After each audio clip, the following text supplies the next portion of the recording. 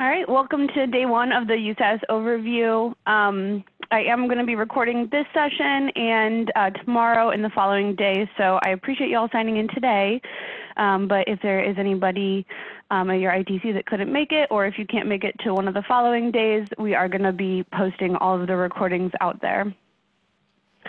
Um, our other housekeeping thing, just to make sure that um, I wanted to mention is that um, I think I sounds like everyone's muted now, so we're good to go there. If you have any questions along the way, the mute button is in the bottom left corner, so you may need to unmute yourself, um, but feel free to do so and ask questions um, as we go through the different pages in the software. Uh, the other thing here is we have um, kind of put together just a quick little agenda for our what our basic plan is um, to look at for the next couple days. So today we're going to just briefly talk about the home page and then I'm going to go through the core menu and the transaction menu. Um, so we got a lot of bulk of um, stuff here once we get into that transaction menu. Um, and then there, we have a plan to uh, have a break about 10:15. So I'm going to try and keep an eye on the clock and uh, try and hit that so we can have about 15 minutes if everyone needs to um, stretch their legs or that sort of thing. Probably just like a 10, 15 minute break there. We did uh, put this agenda out on um, as a link on like the training sign up page. I believe that is out there now. So, I mean, I know it's really basic, but if you want to reference back to that, um, it is somewhere for you to access. So with that, we'll get going here. I do already have USAS open and I'm signed in.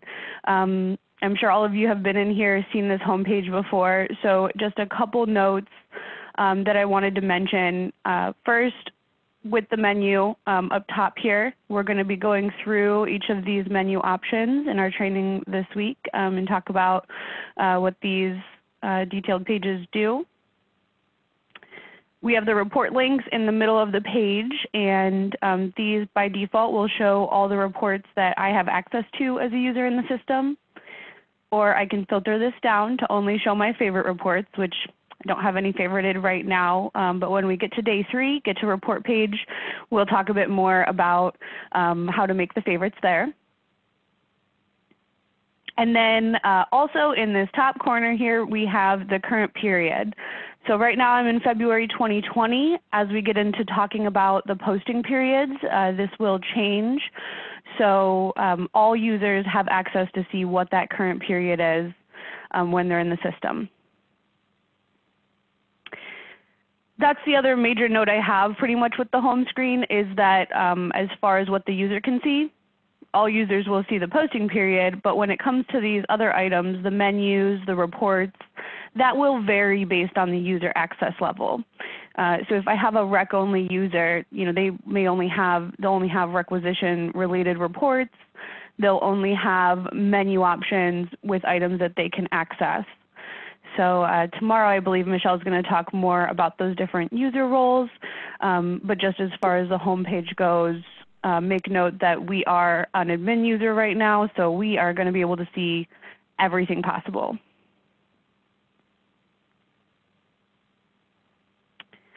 Our first stop, we're going to start in our core menu, and we're going to go right into our accounts page.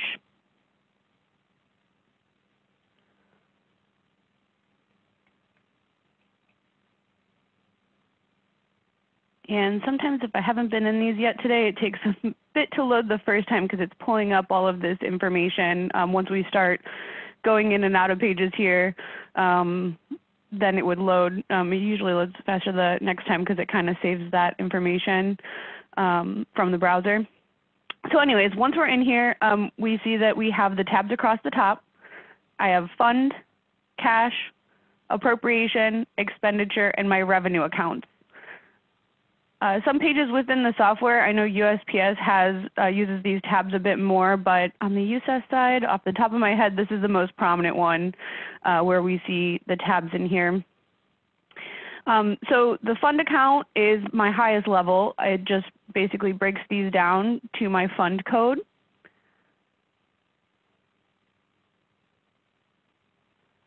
On my cash account, um, this is going to be my fund special cost center.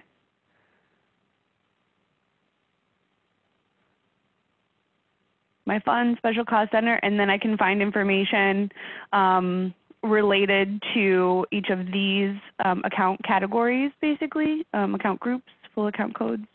Um, and then, you know, I'm going to skip over to this expenditure account because we're going to look at some of these different things on the grid and um, just know that um, these same, you know, as far as it goes with the icons that we're going to talk about um, in this grid, it would apply to each one of these different tabs. So I'll save us some time instead of um, making each one load. So what we're looking at here, um, we have a column for each piece of our account code. Uh, we could filter on this.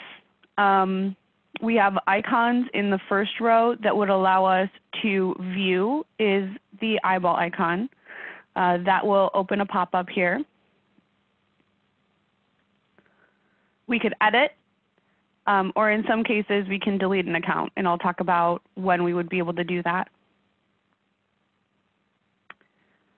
The other thing we see here, so let's go ahead and use, oops, I'm clicking, clicked that on accident there, but um, I'm going to go ahead and filter this down so that we can look at a specific account. Um, so our fund,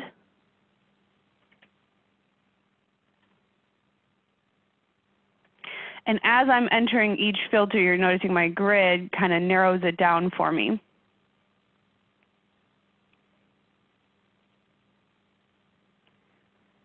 And let's go ahead and pick one that has an, an amount here. So when I view the account, I can see the account code, um, I have my account information, and then I have the figures that um, apply to the amounts for my account. Um, if there's an initial budget in there, I would see that, um, any adjustments, and then um, my actual expended amount, so anything that's been paid out of this account, and it'll calculate my remaining balance. Once we start looking at some of our reports, uh, we do have um, account-based reports. So if you've ever had a, um, you know, if, you, have ever heard that discussed on some of our reports calls, we'll talk about it. Um, the account-based reports are pulling figures literally right from the screen. So when you're looking at a budget summary, that's pulling directly from the expenditure account.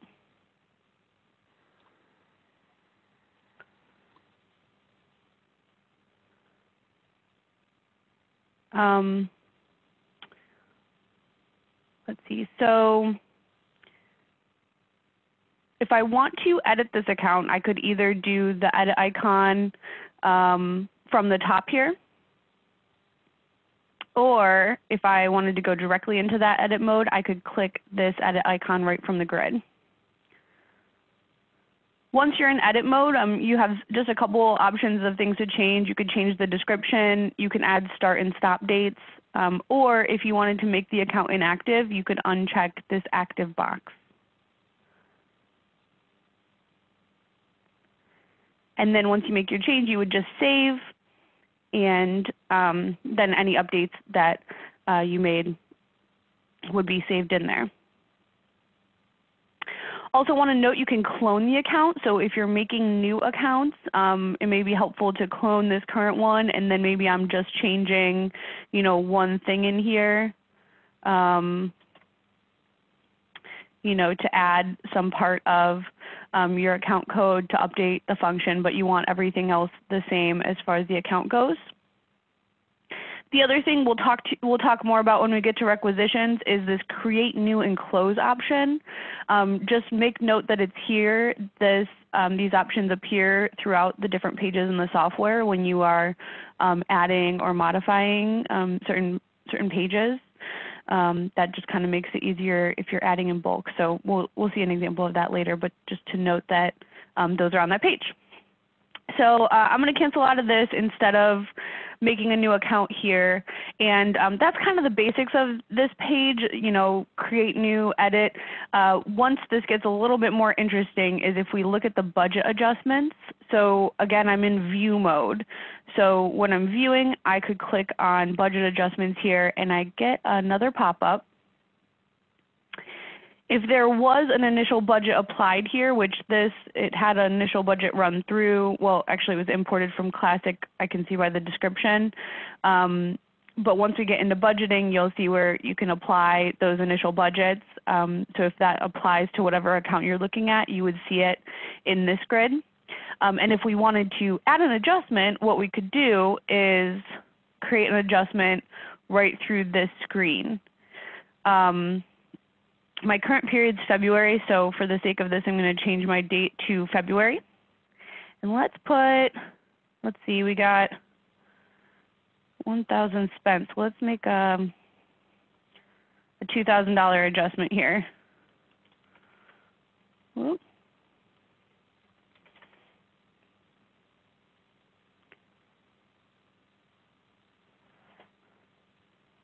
Okay. And once I save, I can close out of this window and now I see on my account that added this to the adjustments. It increased my expendable amount and now my remaining balance is updated so it's no longer negative.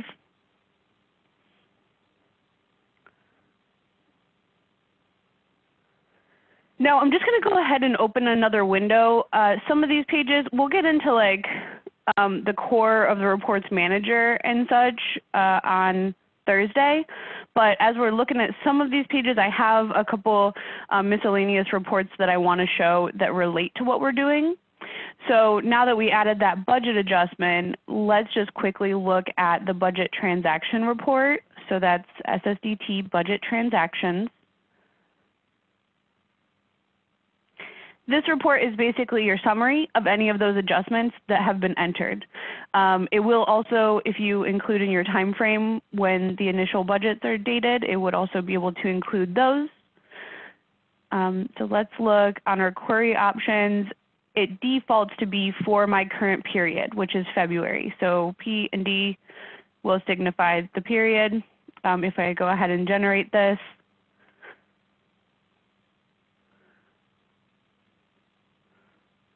I'll get a quick little report showing me any adjustments that are dated within my current period. So both of these were February. I can see the account that was adjusted, the date, um, the description that I gave my adjustment. So in this case, I didn't make it very descriptive, um, but your district might put, you know, I don't know, they may have their own way to put a description. Maybe they want to put um, a note about like why they adjusted it or who adjusted it, that sort of thing, and then the amount.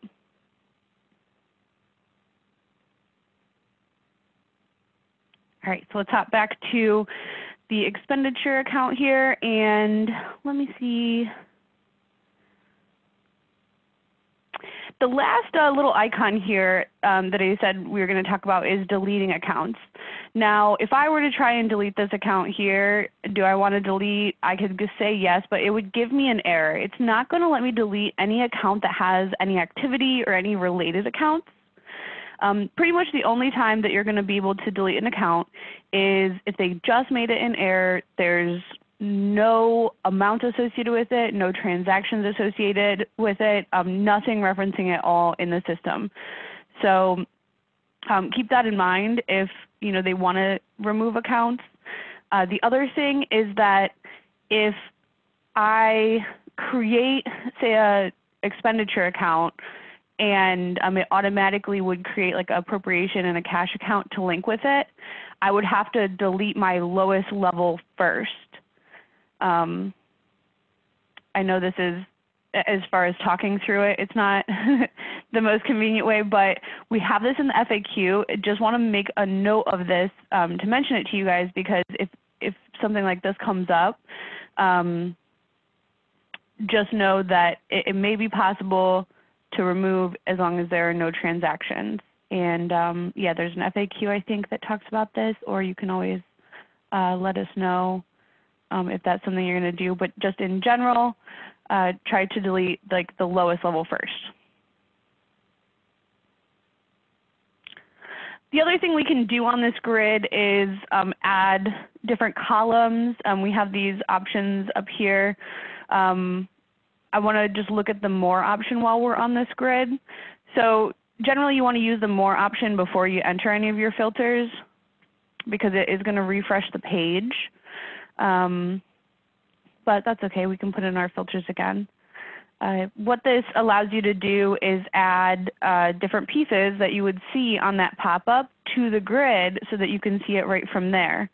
Um, I see that I have this ID on here. I'm actually going to take that off. Let's say we don't want to see that.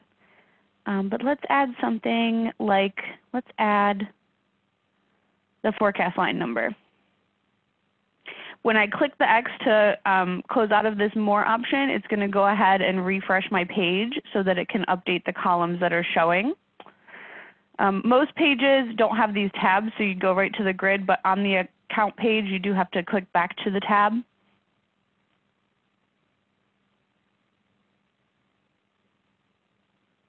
And then if I scroll over here,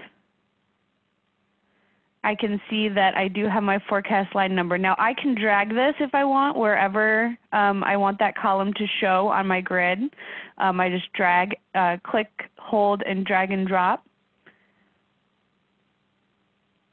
I can also sort on the different uh, columns by clicking uh, just on the header. So say I want to sort by OPU, just click on that OPU and it'll sort by that column.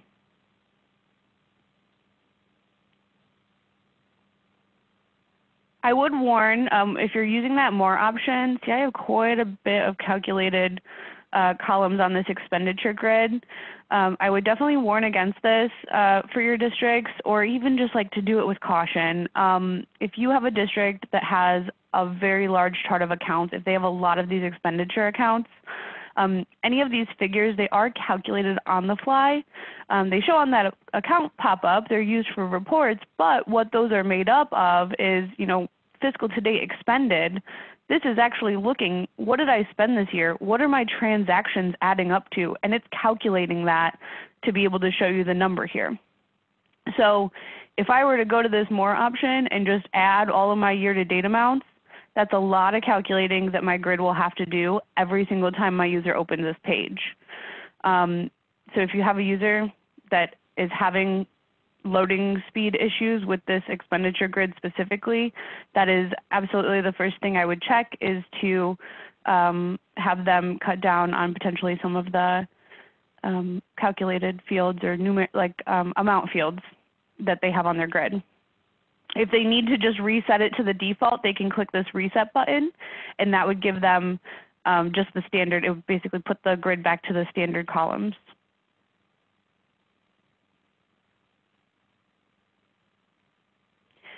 Uh, the other thing I want to show while we're on this, um, while we're looking at this grid, which again, the more option, the reset option, these apply to all of the grids throughout the software, um, is just to look at a couple different filter options. Um, we saw how we could use the filter on the account code, but let's just do some random filtering here. There are some shortcuts you can use. So first I'm going to take active and put in a T because that'll filter it down just to true so I don't have to type out the whole true false if I ever have a field um, for that. And then when I'm looking at my expended amount, um, I could do, if I wanted to have a specific uh, figure. So I think I have a 118 in here. We're going to try it. If I put the equal sign and then equals 118, it's looking to only show me any lines that match specifically that amount.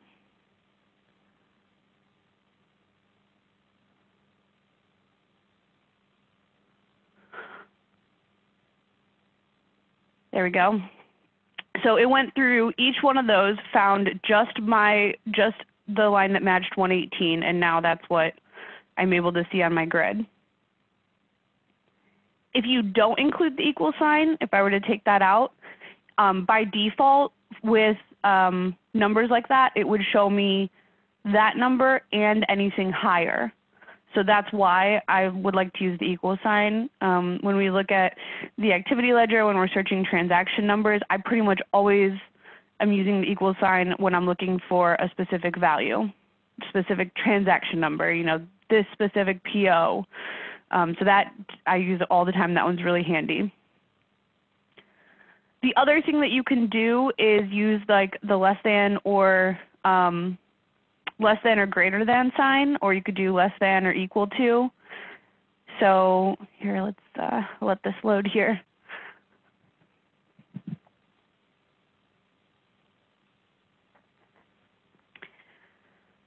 So now I have anything that is less than or equal to, or I'm sorry, just less than 118. If I put, um, if I were to do less than or equal to, then it would include that 118 as well. Um, the opposite of that, I could do greater than, and then it would sort these so it's just anything above that value.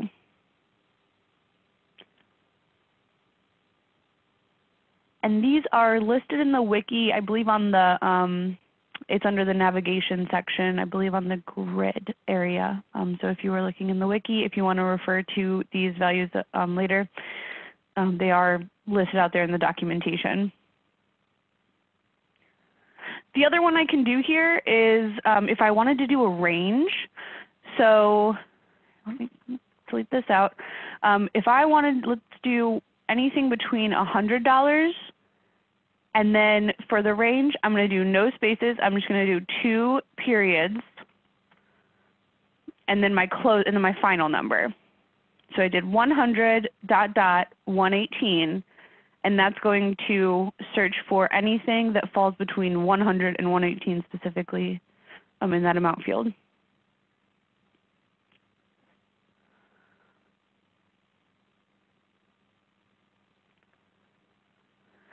And again, I probably should have removed some of those other amount columns off of here, but we're rolling with it. Okay, there we go. So now I have my quick list of all of these accounts that qualify for that range. And as we can see by using this active and then this expended, I can definitely use um, you know, multiple filters on my grid here. I could, you know, enter in, you know, pretty much as many columns as I want, um, but it starts narrowing down pretty quickly depending on what you enter. Um, the last one I want to show, I'm going to leave this in here and show um, a like value. And let's see, let's do it on my description. Uh, this little, I think it's called the tilde it's your little squiggly line that's right um, before the one on your keyboard. If I do that, that means like.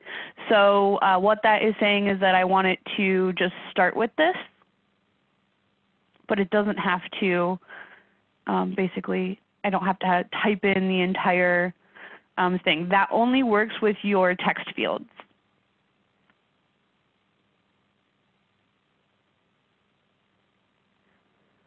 The other thing I can do here is um, our good old normal wildcard. So in Classic, this was your asterisk, your star.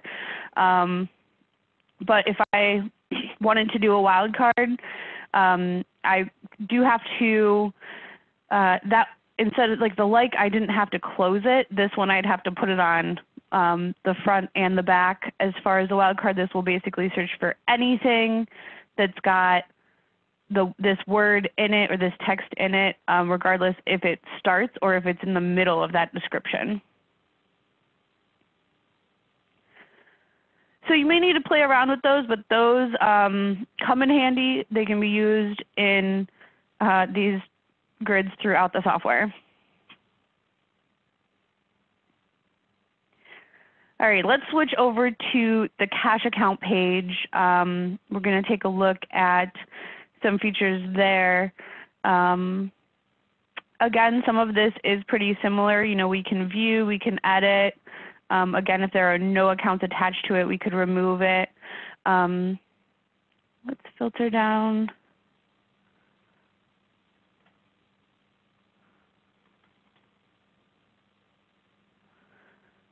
And if I view my cash account, I have um, an adjustments option on the cash level, but what I really want to look at here is my mass add option. Now, um, if I click this mass add, what I can do is copy this cash account and all of the accounts attached to it and give it a new special cost center and make a new, um, a new account, a new set of accounts. Um, this is probably something your districts would use at the beginning of the year if they have grant accounts and their special cost center you know, maybe it's unique to the fiscal year and now they need to make their new year accounts. Um, they would use this option. We have, uh, we're starting with 9001. I would say, all right, let's make, you know, 9021 for next year for fiscal year 21. Um, and then when I submit, it would go through and copy all of the accounts. It would give me a pop-up showing me um, that the accounts were created. And um, I'm not going to do this because I don't uh, don't know how many account codes are linked to this one, and I don't want it to take us too long. So um, it, it's basically as simple as that uh, to create the new ones. The one thing that I will note with that is that the new cash account cannot already exist. So when they're ready to create their new accounts, they don't want to go like create the cash account first and then think they're going to link the new accounts to it. They want to make them all at once with this option.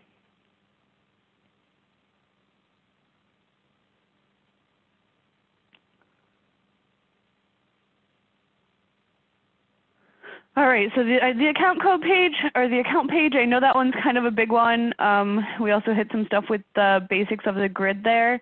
I'm going to start moving down the rest of this core menu. Um, before we move on though, did anybody have any questions that we want to look at on this page?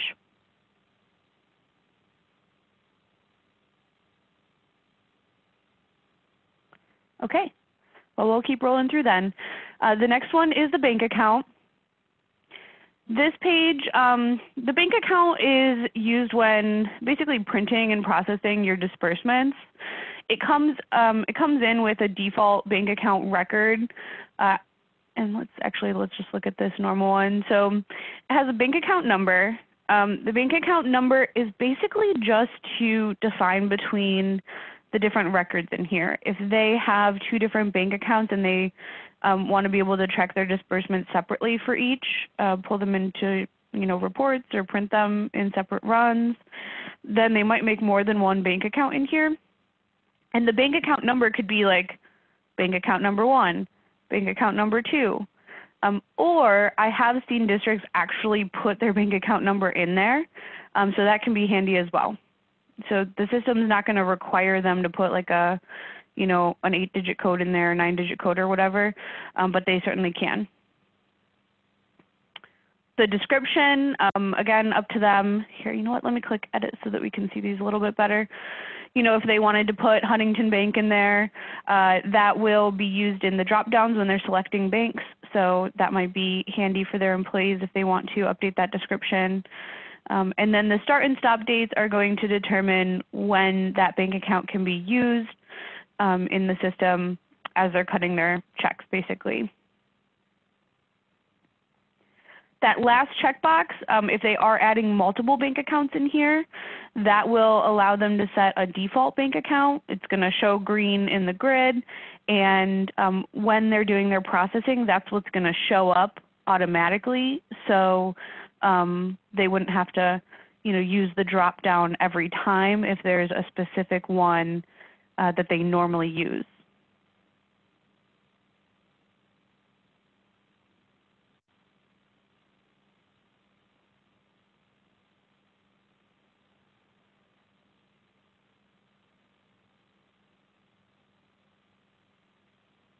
Next, I'm going to hop to the delivery addresses.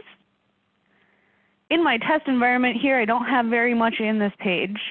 Um, what happens when you guys are importing the district information over is the system's going to look at any delivery address that's used on any existing transaction. So any requisition, any purchase order, and it's going to populate that delivery address into this page. So you may come in here with your district and see a whole list of um, different addresses.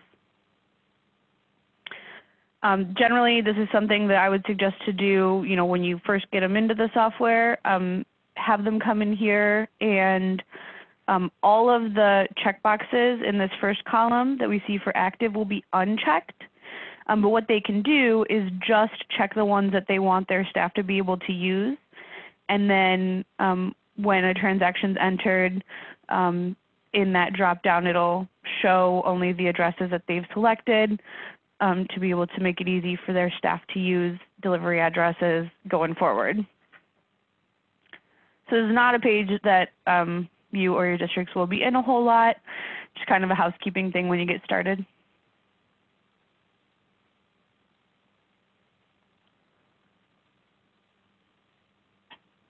We're going to keep kind of rolling right through. Um, OPUs, again, not a page that um, they may be in a whole lot. Um, a lot of this core menu is definitely um, more so like setup items. Um, so this one, it's basically pulling from Classic, um, you know, what that OPU, I think it's OPU edit in Classic. Um, but either way, it'll pull the OPU code, any description they have entered, and then the IRN that is linked to that OPU. Um, for the most part, these will be defined, but maybe if they have a new building, um, they would have to you know, create a new OPU. So they would come in here, um, enter their new code, give it a description, and then um, enter the IRN for the building that's associated with. If it qualifies as central office, they have a checkbox for that. And then they just enter that info, click save.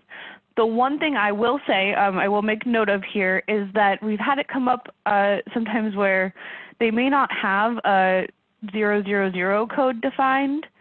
Uh, that would generally just be their uh, district-wide IRN. So if that's something, if you find a district that is trying to update something in here, um, they could get a warning if they don't have that 000, and it'll make them add that. Um, that should just be their normal district IRN, um, the district-wide.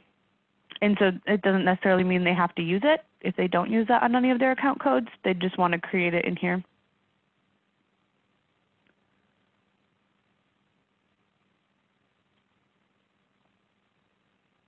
All right, we're going to keep going right along to the organization. Uh, let me edit this so we can see it a little bit better. Um, this is their basic info. Um, this comes right from the USA Con screen in Classic. And most of this will be populated when you import them in. I do think it's probably a good idea to have them review this information.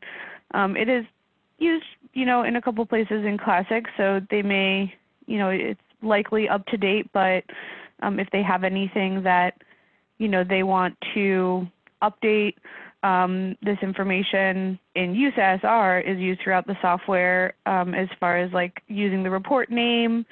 Um, the address can be used on like the 1099 report. And then at the bottom, um, you'll notice we do have two boxes down there that aren't filled out. So those things don't come over.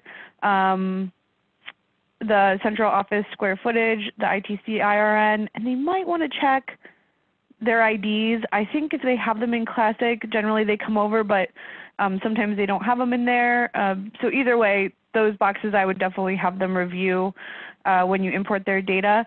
The last two are used for the reporting at fiscal year end. Um, for their financial reporting. So they don't necessarily have to enter that right away, um, but they would want to, they would need to have that entered before they do their financial reporting from redesign. So, I mean, if you're having them review this page when you import their data, you could always just have them enter that information as well.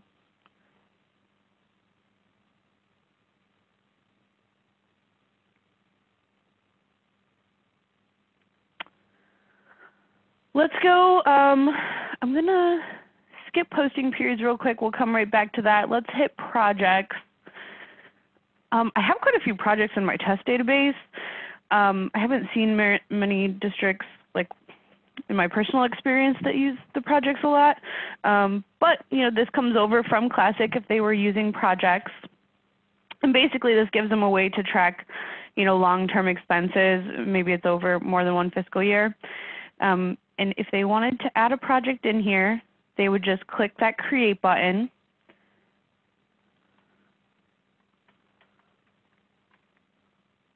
Add their project, add their beginning balance. And then if they had, you know, a start and stop date, they could enter that in. Mm, I'm just going to leave that blank for our test.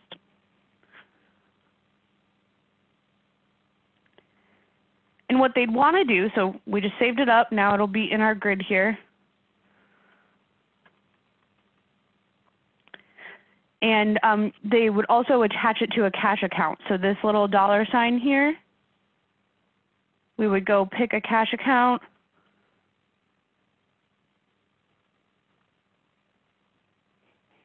That probably doesn't make any sense, but uh, that was my example cash account from the last page, so we're rolling with it. Um, so I would just go ahead, assign my cash account there, and then um, let's view this and I can see my assigned cash account here. That also shows on my grid. So pretty straightforward page.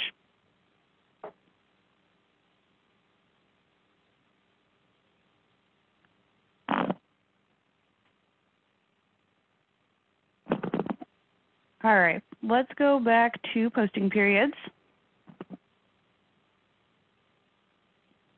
So this page, um, just off the bat, we look like we got a lot going on here. Um, I can see all of my current year posting periods at the top here, my current fiscal year. Uh, so I have my fiscal year column and my month name. These are usually where I'm looking. Um, if I were to scroll down here, I do have a lot of prior periods. When the uh, district is imported to redesign, it will look at all of the transactions that exist in um, the classic data and then create posting periods to associate all of those transactions with. So depending on how far back it's been since they purged, um, you know, they may have quite the list here. I do have a date open and date closed column. I can see by most of these columns that um, February 21st was probably when this was imported. so um, most of those will be stamped, you know, all the old periods with your import date. Um, but as I go, um, when I open new periods, so see March, I opened on March 11th. Um, as they operate in the software, that'll give them a way to stamp, you know, when they created or when they close new periods.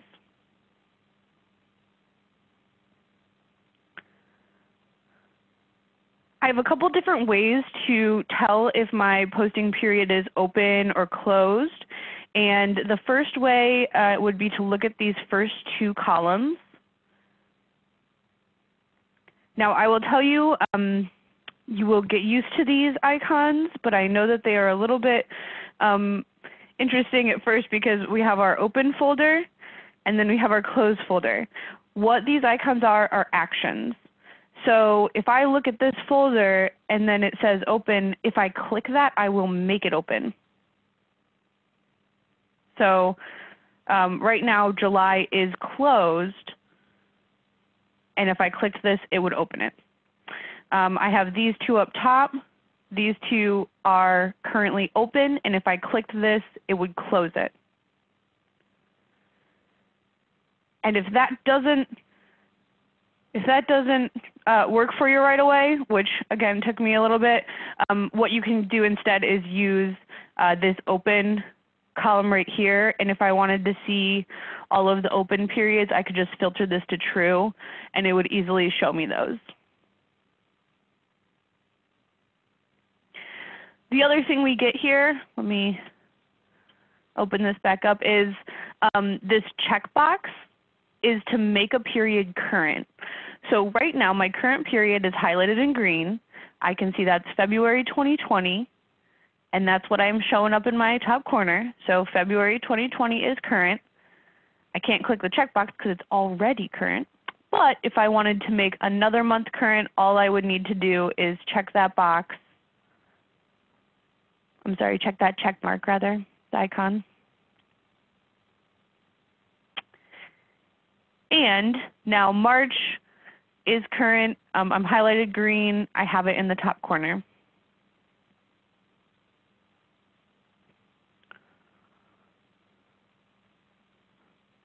Uh, deleting periods, you have the um, X icon here. I can only delete a period if it has no transactions associated with it. So pretty much if it's brand new and you just created it in error, then you could remove it. But um, any of those that I'm seeing there have transactions. So if I were to click that X, it, it would actually give me an error. I can't just delete, um, you know, a period that's got, that has things going on, that has um, transactions against it or any dates associated with it. If I wanted to create a new posting period, um, I just click create here and I would pick the month. I would put in the calendar year. And if I wanted to also make it current at the same time, I can check this box and that would you know switch it switch me from March to April, um, but I'm not going to do that for this example. So let's just create it and put it out there.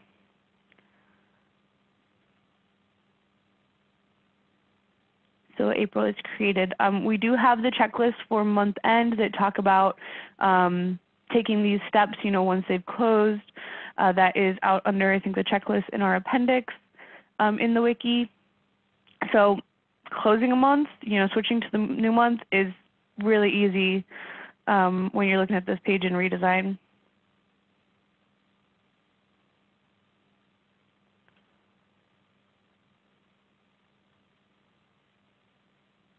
Okay, let's switch to vendors, our last stop on this core menu.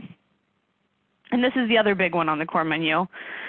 Um, see. So when we come in here, um, I'm going to just resize these columns. This is another thing we didn't really look at on the account page. We looked at kind of, you know, moving the columns around. Um, I can also, I have this more option so I can add additional columns here as well.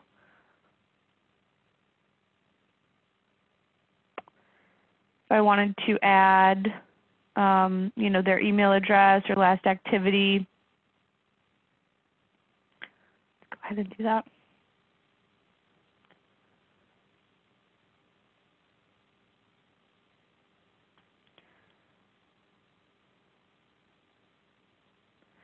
Um, I also have a couple more uh, options up here. The advanced query. Uh, this can be used um, basically if you want to filter your grid without having to add specific columns to it. If I click this um, advanced query option, it opens this additional area and um, this gives me the ability to drag over um, certain items from that vendor record that I can filter on. We do a good example of this at um, calendar year end time because you could use, you could filter basically these 1099 fields. Um, let's see, I'm going to take like tax ID number. Um, basically what I would do is come over here and enter in values um, to determine you know, what, how I want to filter my grid below.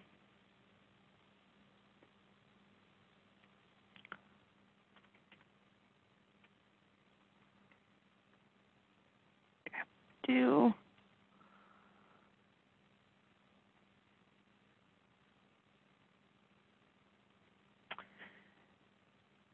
and then I just click apply query. I was worried about that. So you know what? I should have grabbed my screenshot um, for how we sort this. Let's make this a little bit less complicated here.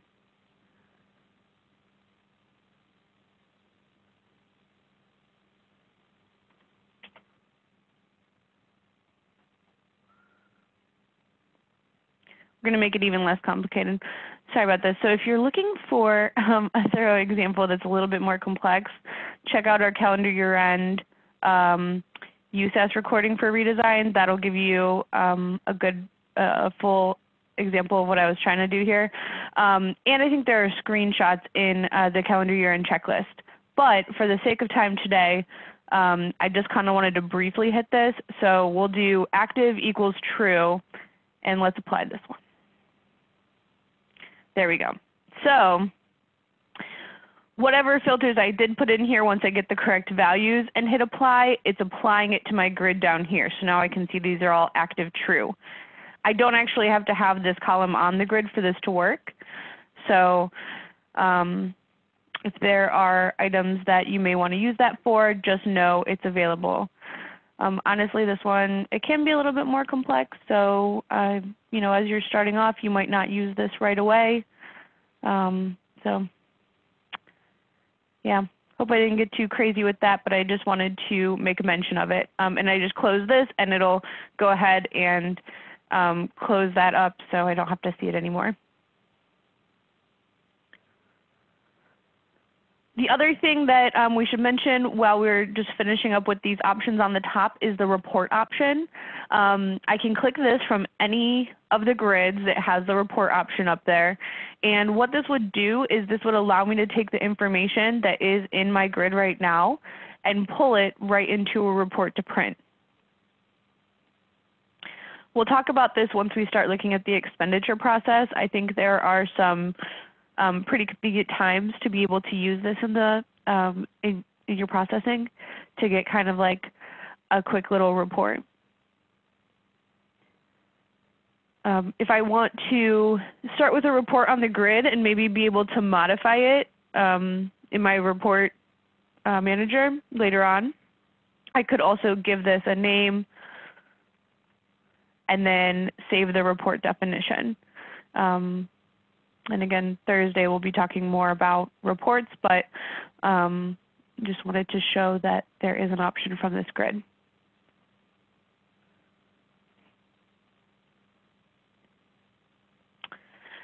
The other thing that you'll be able to do on grids throughout the software is um, if you want sort of a highlight view, um, I know we've looked at using this eyeball icon to actually open up the pop-up, but you can also click right on a line in your grid and get this little highlight view with just some limited columns um, as you go through. So if you're looking at something you know that's on here, you know, I'm just kind of going through.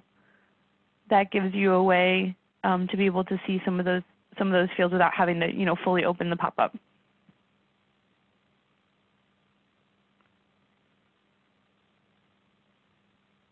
Let's take a look at creating a vendor. So I'm just going to click uh, create at the top here and um, you know, similar to the account, we get this pop-up where we can enter items in. Um, this one, obviously, a bit more complex. We have a lot more information we can enter here. Uh, the vendor number, I can enter a custom vendor number if I want. Um, or if I leave it blank, it would assign a vendor number for me. Uh, there's a configuration where we can set up uh, default numbers. Um, that'll be when we get into the systems page. I'm going to give my vendor um, a name.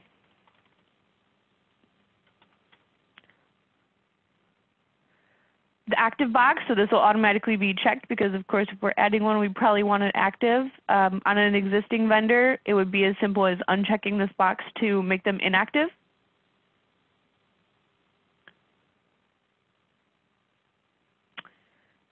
We have some additional fields here. I'm just going to kind of go through the highlights. Uh, the first one I want to touch on is this default payment type. You have options for check or electronic. Um, I think generally you will be using check, um, at least for yeah standard vendors. Um, check is going to, you know, once you actually get to the disbursement page, it's going to signify it to print a paper check. Um, if you are using ACH with a third party, um, then I believe you would also want to use check. Um, basically what the software is because they're using the standard USAS information and then creating the ACH file in that third party. Um, they would still need it to be check so that it can pick up the check number.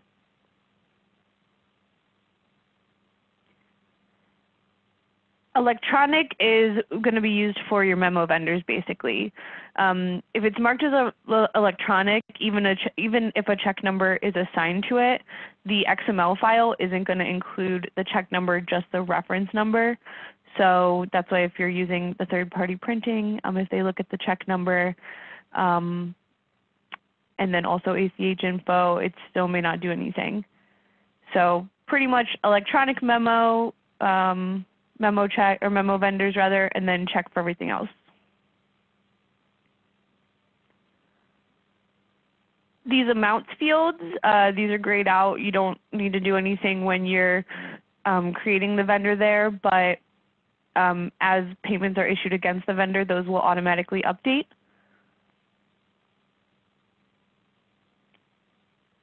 The 1099 section, so this is where I'm going to determine, you know, if this is a 1099 vendor, I would be able to enter in their tax ID number and then um, what type that is, so whether it's a social security number or if it's um, actually an employee ID number. The new hire information, so again, this is kind of just used for reporting. Um, if they do need to be reported, then uh, you would need to switch this to reportable when you're setting up the vendor. You'd enter an ID, any date information needed,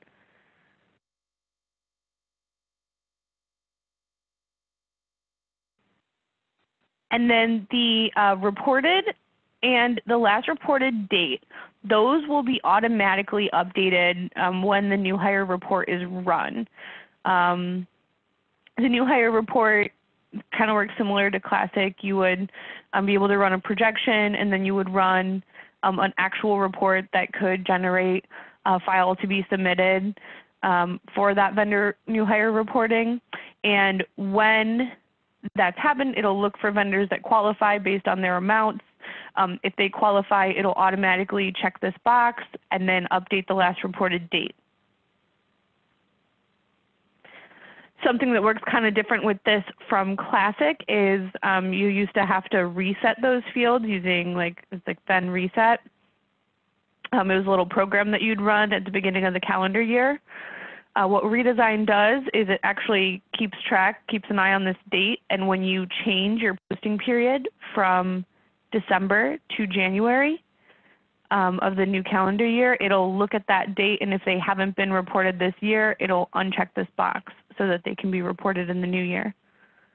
So you actually don't have a manual step there anymore, or your districts won't have a manual step there.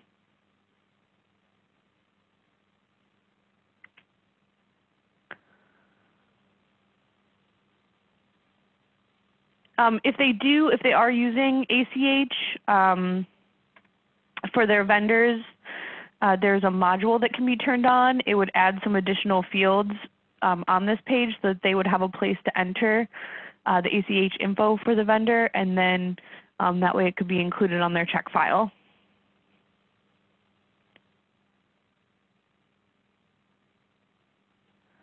Um, I also want to take a look at the locations at the bottom here. So we have a little kind of grid area. We can click the plus to add um, a location or an address.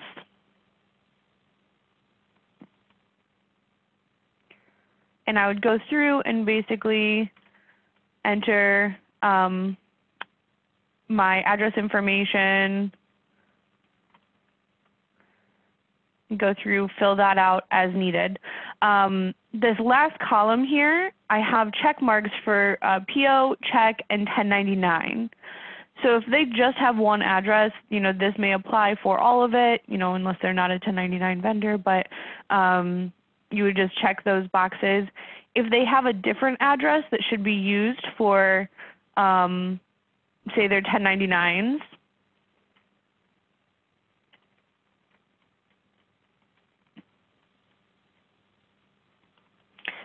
you know, maybe it's their name or something like that. Um, then you would be able to just check that separate one um, for their 1099 address. So you would enter, you know, as many addresses as that vendor may need in there. Um, make sure they're designated appropriately, um, and then you can save them within this one vendor. if your vendor in Classic, if their vendor had the 1099 and the colon in the name to field, because um, that was kind of our way to designate it in Classic, it would um, look at that second line if it had um, 1099 listed in it, and then the 1099 program would sort of use that name instead. Um, if you have any vendors that were set up like that, then they will actually import into redesign and have that location already separated and marked as their 1099 address. So that's kind of cool um, that the system will look at that and bring it in appropriately.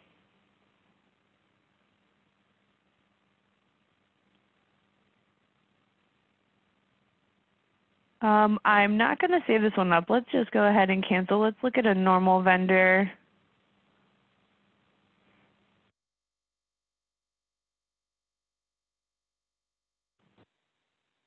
Um, I'm going to go ahead and just view this one.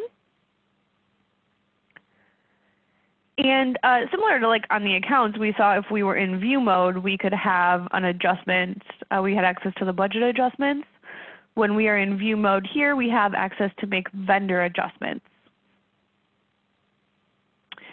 What this will allow us to do is update the, come down here. It'll allow us to update these total amounts. So said before that these, you know, only get updated when you're making payments. Uh, but if there are situations where you need to manually adjust those, uh, say maybe you're merging vendors or there's something at calendar year end you need to correct the taxable amount, these vendor adjustments would allow you to do that. So I would just click to create and I would give this a date. Um, I could give it a description.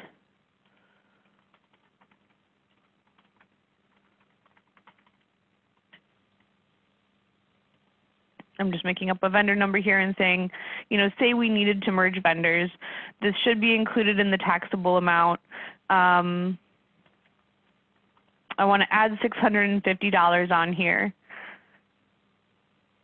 and then post. So I can see this added it to my pop-up and I could also see that my year-to-dates all updated by that adjustment amount that I entered.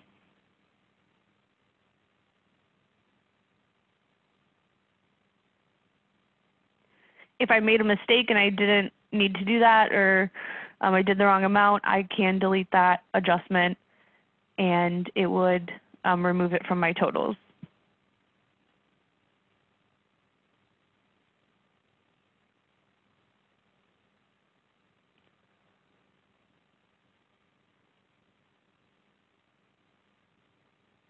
All right.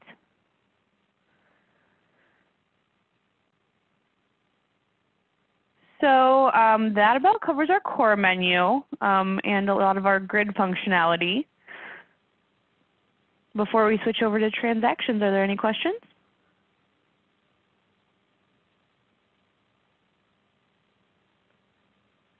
Quiet bunch today. I know this is pretty fun. I know we're kind of rolling through a lot of a lot of stuff here, but um, yeah, hopefully um, with these basics, it'll um, it's going to help with multiple pages in the software.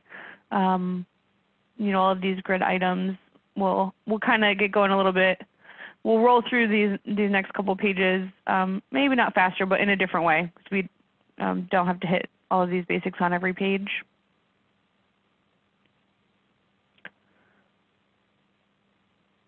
All right, when we get to the transaction menu, I'm not going to go through this one um, from the top down like I did before. I'm going to kind of hop around here, but we're going to look at this in the context of um, how the pages are used in the expenditure process. And then we'll go back and hit some of the miscellaneous ones um, that don't fit into that after the fact. So we are starting on the requisition page.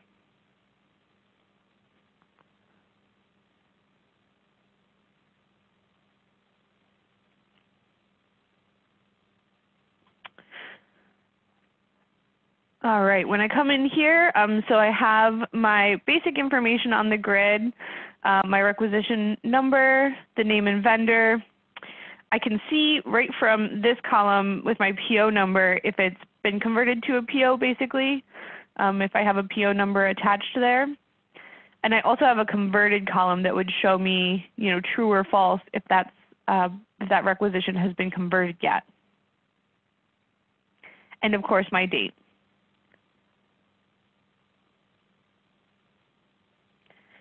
I have my similar um, icons over here where I can view, edit, delete um, if it hasn't been converted yet. And then in the first column, I have a new icon, and this one is for printing. So if I wanted to um, print this to a PDF or um, to an XML to use with a third-party software, I could generate a print file right from my grid. Um, if I wanted to print multiple of these, I could check this box um, and then click to print and it would print a batch. Um, or if I use this check mark up here, it would check everything that's in my grid. Um, and that's where what I would probably do is filter this down maybe by date or by converted and then use my checkbox to select just a limited number.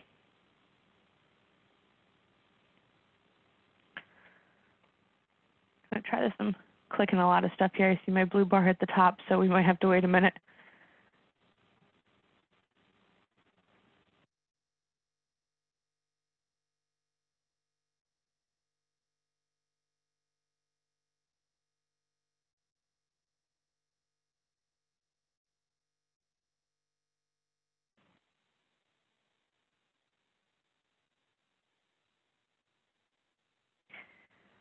Well, just a lesson in that as, yeah, since I was, each time I was clicking uh, something over here, it was wanting to reload it. So yeah. Let's see, I'm hopping over to my second one here and see if I can get this. Okay.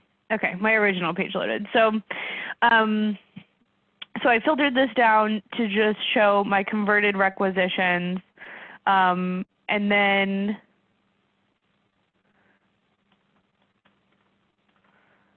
if I enter a date, so um, this is similar to what we talked about with the amounts where um, unless I enter the equal sign, it's going to give me everything that is that and greater. So if I enter February 1st, it'll give me anything that's dated February 1st or later. Um, so all of my February requisitions that have been converted, if I wanted to print these, I could just check that box up top. It would select everything in my grid, and then I could print this to an XML or a PDF. And um, if I do it to the PDF, it'll just generate me a file real quick here.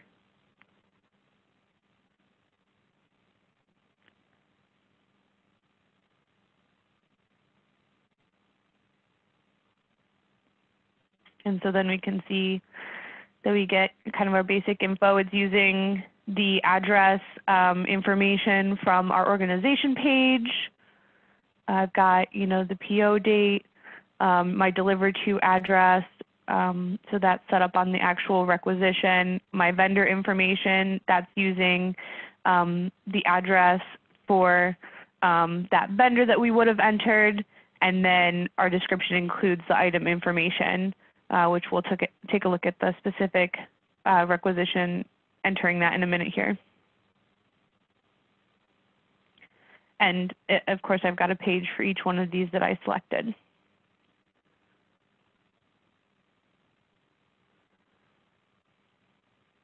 Let's go ahead and um, look at creating a rec from, um, from scratch, I guess you'd say.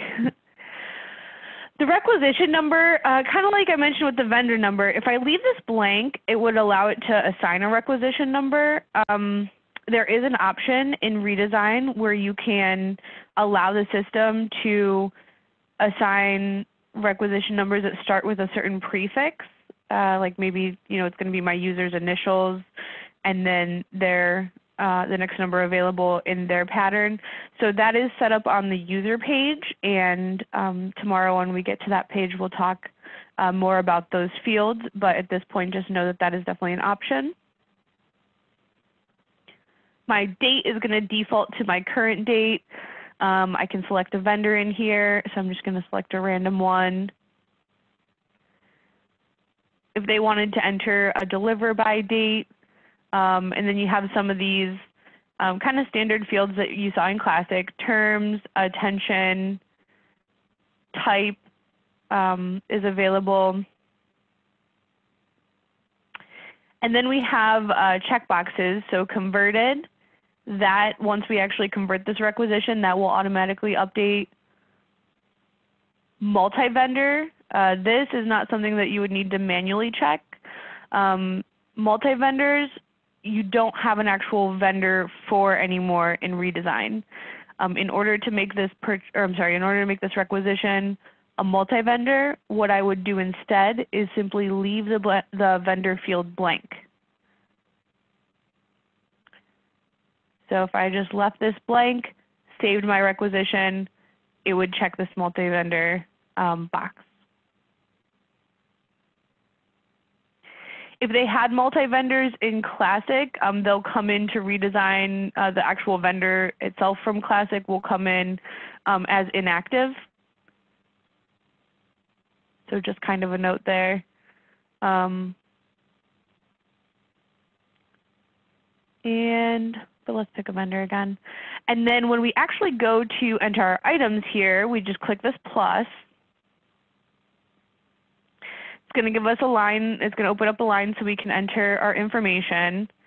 Um, quantity, I would enter uh, units, so kind of same as classic. They could do like each. It's that's a kind of a custom field. You know, that doesn't have like a specific requirement. They could leave it blank. Let's get some pencils. Um, and we'll say $5 each. Now, um, I'm kind of tabbing through. They could click through here. Uh, that's kind of on preference. Um, but I do want to mention when we get to the accounts that uh, we could enter this account a couple different ways. Um, first of all, the basics. If we just want, if this is going to one specific account, I could start typing it in here. And as I type, it'll pull up my little drop down. Um, kind of go from there. The other option that was added, uh, this makes it a bit easier, especially for somebody who may only be in here doing requisitions. Um, if that's their extent of using the software, uh, they may not know the whole code in order to start typing it in with the dashes. So instead, um, I just clicked this magnifying glass icon and I would be able to come up here and I could put in um, just whatever pieces of the account code that I wanted. So see, I put in fund 001, object, I just put in an 8, but I still get all of these that start with an 8. I could also search on the description. Um, so if they know that it's a supply account, I, I use those wildcards, but um, if I enter that in, then any description that has supplies in it is showing up here. And when I find the account that I want, um, basically what I'm going to do is just click on this line and it's going to populate that account there. Populate it into um, the account used for the charge. Another thing to note there, um, there is a way to filter down the accounts that each employee can see. Um, again, that's in the user page, so we'll get there in detail, but just as we're looking at this, um, you know, if they do have an account filter applied to their user account, then when they do that pop-up, it's going to not, you know, it'll only show the accounts that they have access to, so that'll also kind of help narrow down what they're looking at there. They, you know, may not have that big list like I was looking at as a full access user.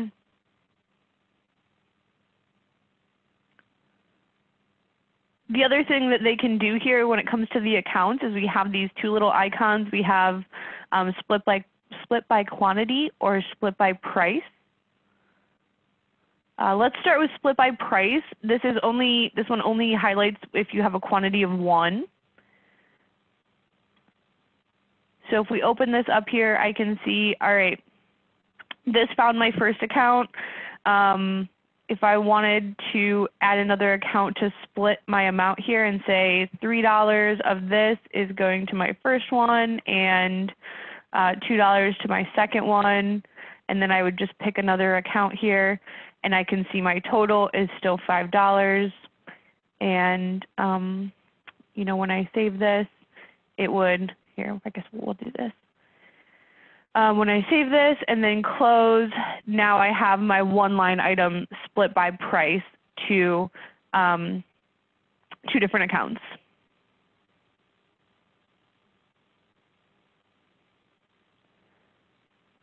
If I want to add another line item, I have a plus here or here um, on a really small rec like this, it doesn't really matter. But if you start getting a lot of line items, it might be nice to be able to just use that add item within your grid. And let's add a bigger quantity here.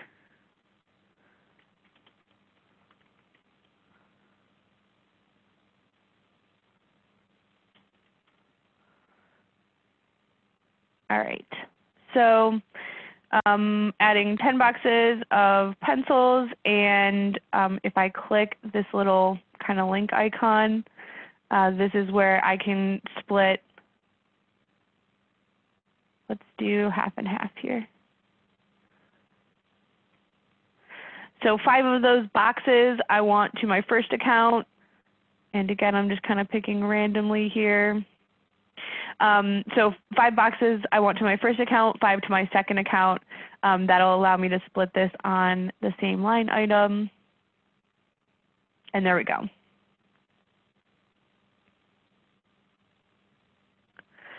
I also have this copy icon. So um, these two little pieces of paper, if they are uh, wanting to just copy one line item, have the same thing here, and then uh, maybe just change, you know, this one's only going to be one box. That may be an easier way to add line items to some of their bigger um, transactions.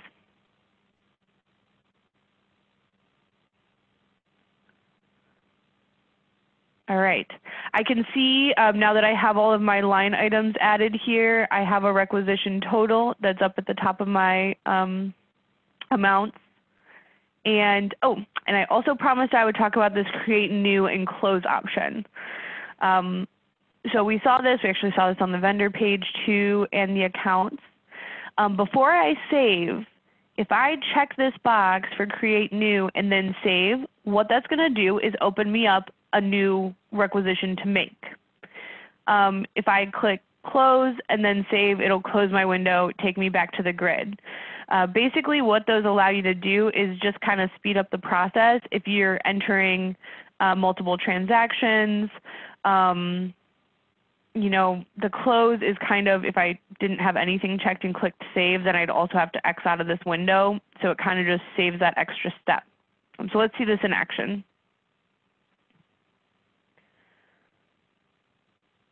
Oh man, you know what?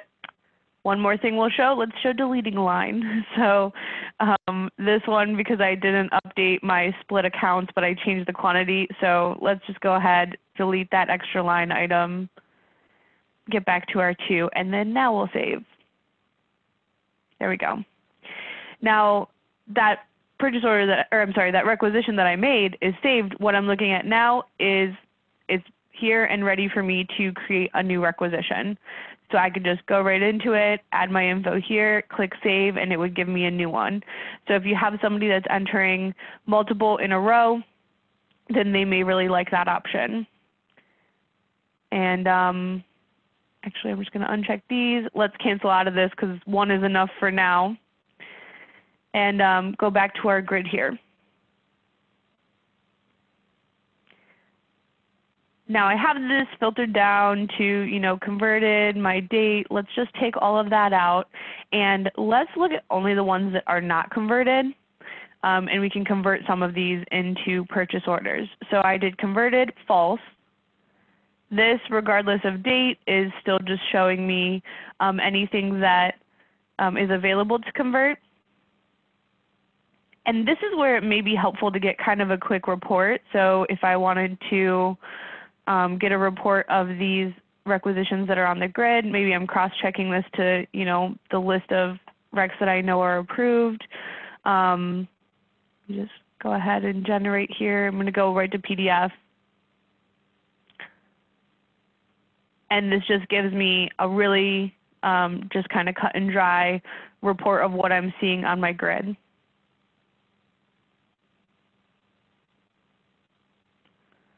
When I go through that list, you know, maybe I know that uh, these um, three recs are uh, available, you know, these are approved, these are allowed to be converted, so I could just check those three. And then at the top here, I have the option to convert. That's going to allow me to enter a specific PO date. So when I make these purchase orders, if I want them all to have today's date, I could enter that in. Um, otherwise, it's going to um, use the requested date on the PO. I'm sorry, on the requisition.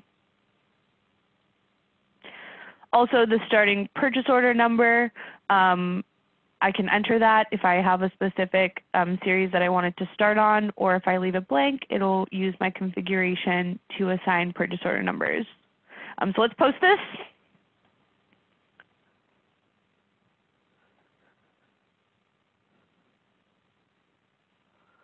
and I get a little pop-up here. I can see my results. So I have um, all three that I chose were converted successfully. I didn't have any failures. And then um, I have some warnings here as far as negative balances. But um, now these are available as purchase orders. And here's my, my PO numbers.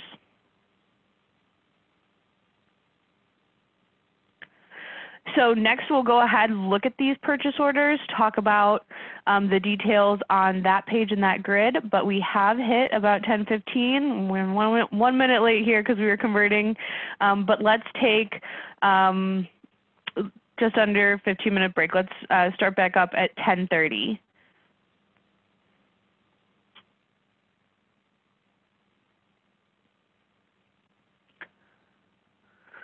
All right.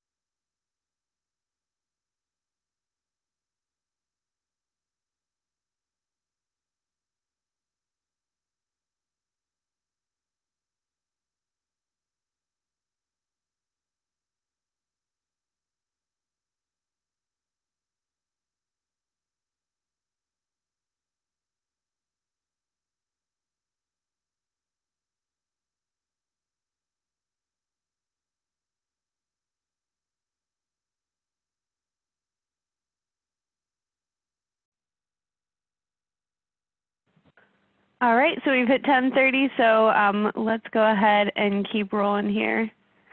Um, let's see. So we stopped at our convert uh, after we converted the requisition. So I'm just going to close out that page, and um, next we're going to switch to the purchase order um, page. And when I converted those requisitions, um, it made the purchase order. We're going to be able to go look that up um, on this grid. And I can see it's actually the top one on my grid right here. I can see by the date. So uh, since I didn't enter in a date, it kept that date of 317. And um, let me go ahead. Uh, we'll talk about our new icon here in a minute, but let's just start out by viewing um, the information from this requisition that um, that we converted. So um, it did assign a PO number automatically came over with the same purchase order date as um, as what my requisition date was, my vendor, delivery information, um, and again, I'm just going to click edit to, so that some of these fields are a little bit easier to see. I'll notice I do have a source field now. Uh, this one, basically, this is the requisition number uh, that was assigned um, to my rec, and that's going to show as the source.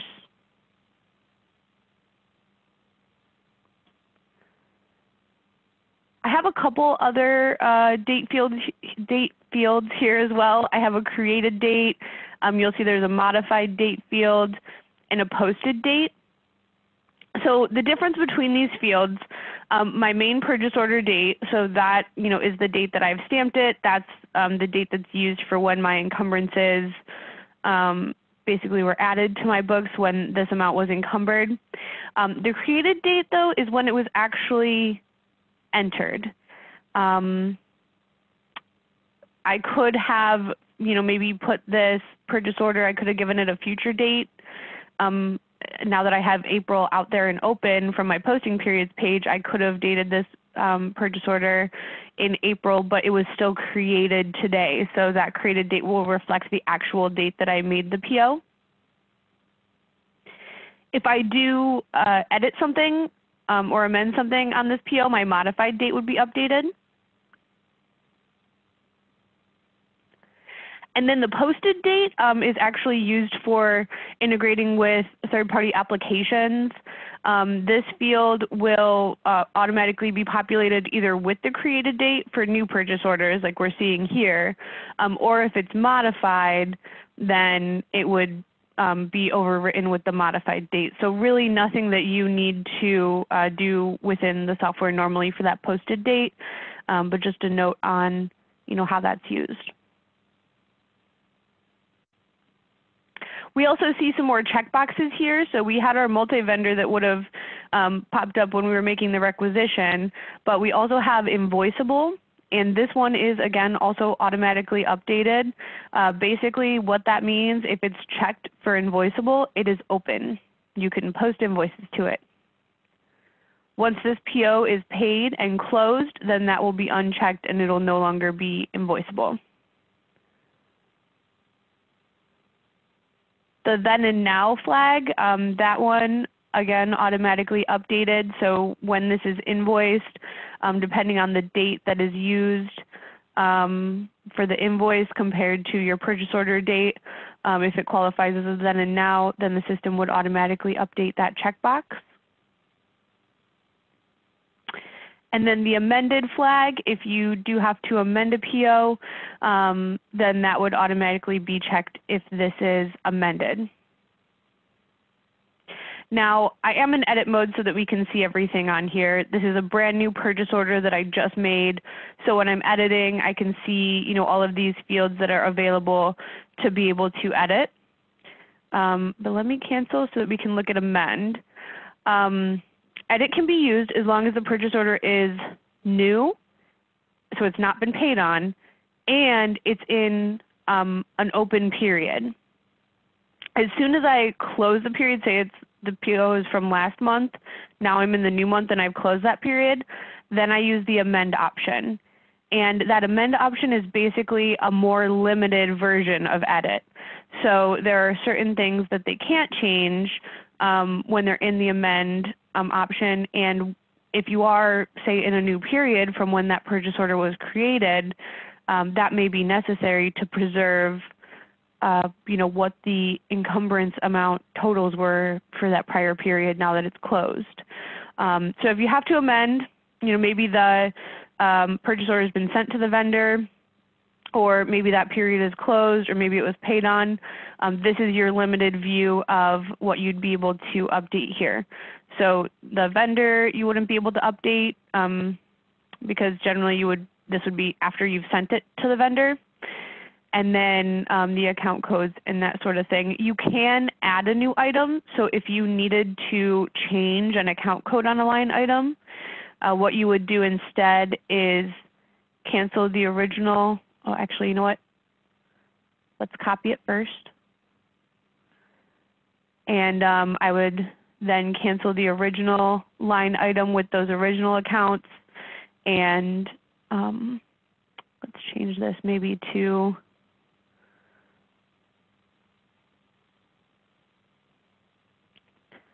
we're going to change it so it just comes out of one. So maybe that's the amendment we need to make is we, you know, didn't want this to actually be actually be split um, to multiple line items. We just wanted it to be, or to, I'm sorry, to want multiple accounts on that one line item. We just wanted it to be charged all to one account. So I removed the original line, added the new one, updated that, and then I could um, save from here.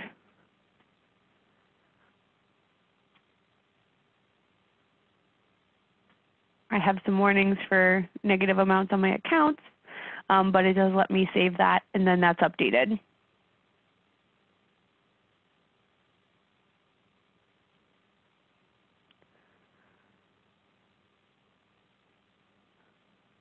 Uh, let's see. Um, outside of just looking at the actual PO, so if I wanted to print um, purchase orders, you know, say I wanted to print them from a specific uh, batch or starting, you know, at a specific time frame. So again, I could do could filter this to just show anything from you know February 1st and later, and um, then I could print if they do print these through a third-party software like Edge, um, maybe they want the XML file instead of a PDF um, because that would be able to go into the third-party software. So that basically replaces the DAT file that they um, may have used to use. And then you would just click print.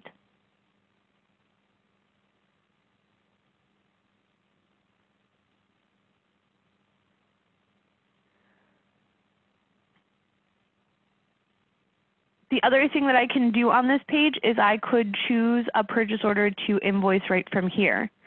Um, so that's our new icon over here. This one in the first column is the ability to create an invoice right from this grid.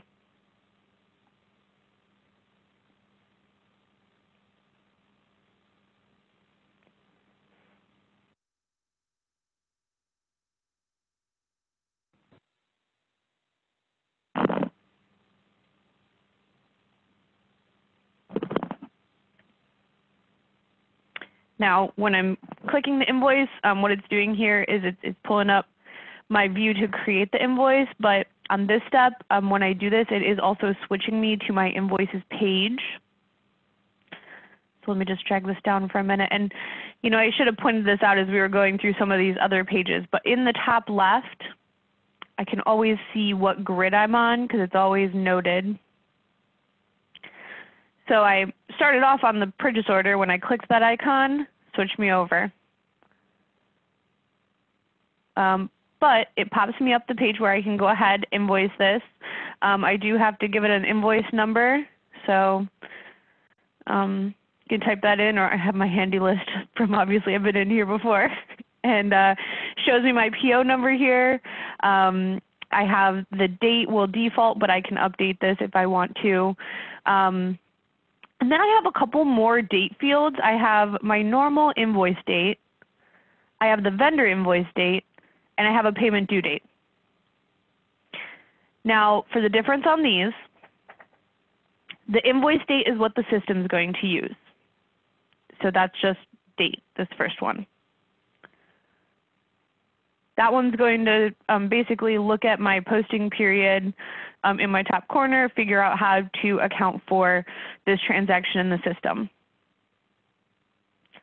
The vendor invoice date, um, this is basically what they want to use if um, they're used to actually looking at the paper invoice and they like to change the date um, to whatever date is on their paper invoice. If they do, um, if your districts use that in their normal process, um, I would suggest that they use this field to enter that.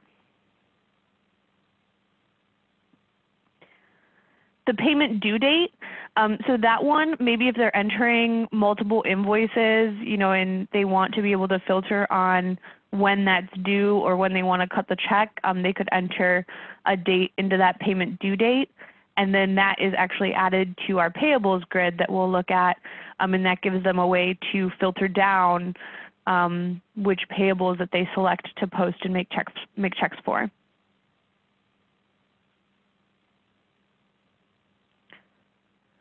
From here, um, I can see all of my line items on here. I have my um, two cancel, well this is um, part of that uh, split item, but I have these canceled ones that I can see are grayed out because I, you know, took those off of my PO with my amend option. Um, but I can still kind of see what's there. And if I wanted to fill these, I could come in here and, um, you know, check my items, go ahead, click to fill, and then that would update my amount, my item status, I do have a received date that I can enter, um, but if I leave that blank, it will default to my um, date that's up here. You know what, let's fill this one too. Um, if I didn't want to just click fill, I could also, you know, come type in here and then um, pick a status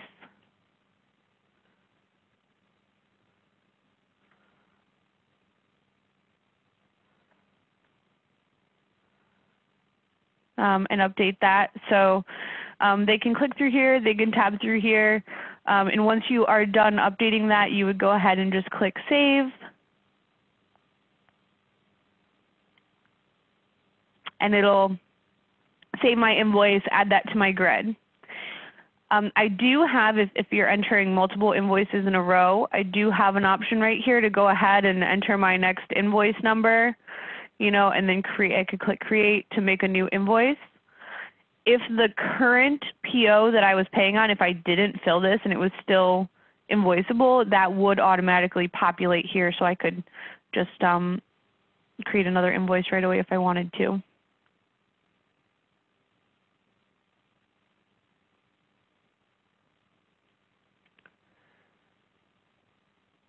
The other thing I can see once I'm in this, I'm in um, like the view of my invoice now. Um, I see this action option in the last column. What that will allow me to do is if I did need to reopen this invoice, um, as long as my invoice is in an open period, I could come in here and click my action to change it from full to partial. And that would reopen my last line item so maybe I could pay on it again. And then actually I can see right up here, it put my PO number now that it's open. And I could go ahead and create, you know, say a separate invoice for that um, if I wanted to.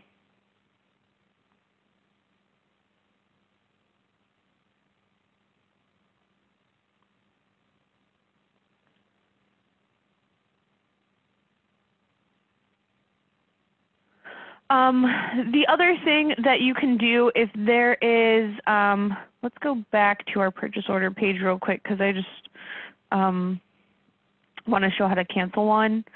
Um, so let's pick one of these.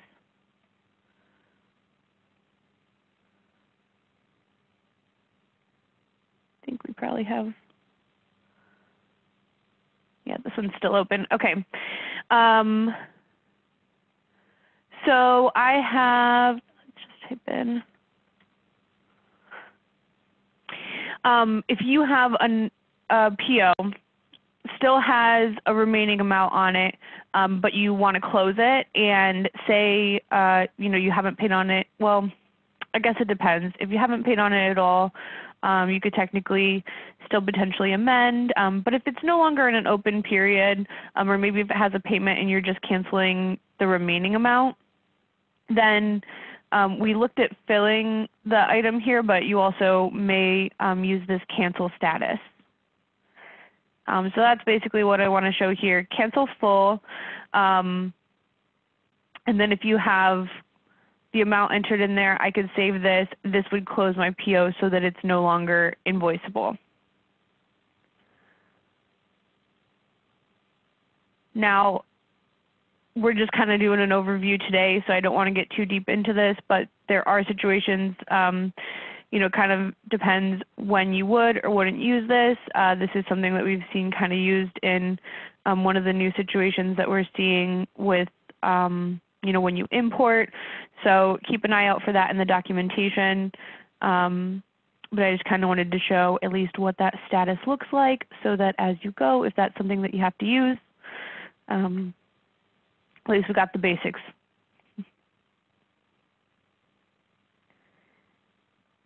All right. So um, now I'm on my invoice page and let's see.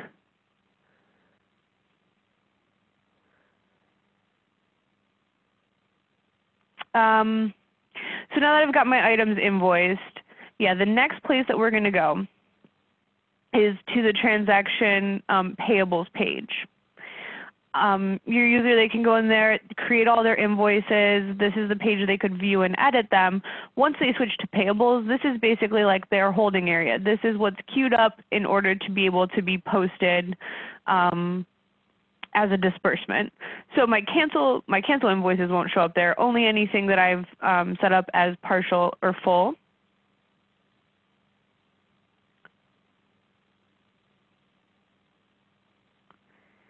And once I'm in here, so I have um, I have another one that where I have different tab options. My first tab that I'm on here is called Vendor. Uh, basically, this is kind of my simplified view of what I have queued up to pay. I have two different vendors um, that have amounts that have amounts invoiced for them. Um, I have this Lake Park Cafe, and then I have the Norcross Office Supplies. Um, I see this is my 205, so that's the one that I invoiced. So I already had that Lake Park um, Cafe sitting out here um, as an invoice that has not yet been posted in my test environment. If I know for sure that I only want to post um, my invoices from this one vendor and this is the right amount, um, I could definitely check this box and post right from here. If I want to see additional information on um, the invoices that are making up you know, these amounts, then I would be able to go to this detail tab.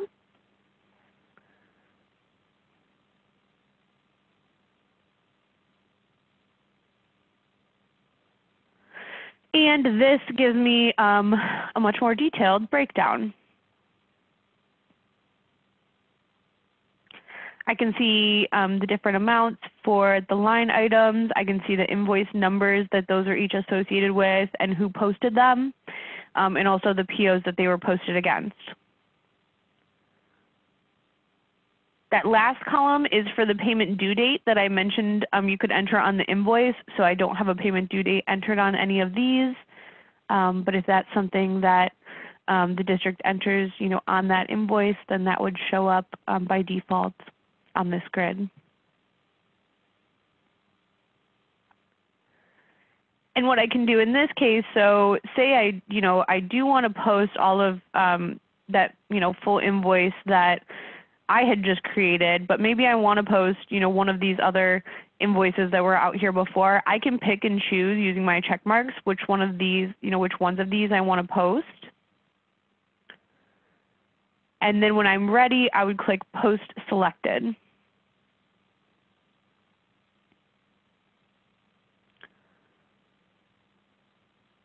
Before I actually confirm this, I get a little summary here, and um, I'd say this page um, definitely something that um, your districts will be verifying um, at this point in the process. I have two vendors that I'm posting from, so that was my Lake Park Cafe and my office supplies, and then three different invoices. This is going to be my total check amount, or my total like amount that I'm yeah I'm posting for checks. My disbursement date. Um, so that's going to be yeah what what my disbursements are actually dated. Uh, if they want to update that here, they can. Um, again, it has to correspond to an open period. This is where I see the bank account. Uh, so if I had a different bank account to associate with these disbursements, then I would be able to update that um, or it would just show there. And then the grouping options. This is this is pretty much the big one for this page is when I create these disbursements, do I want them to be grouped by vendor? So do I want um, two checks, one for this vendor, one for this vendor, one you know one for Lake Park, one for um, the office supplies, or do I want to group them by invoices? Now what that means is that I would get three different checks, three different disbursements, um, because I have two invoices for the Lake Park Cafe uh, vendor. Um, especially when districts are going through their uh, dual processing phase, if they're doing check runs, that could definitely be important um, depending on how that they've how they've grouped or created their um, checks in Classic. So um, just keep that option in mind.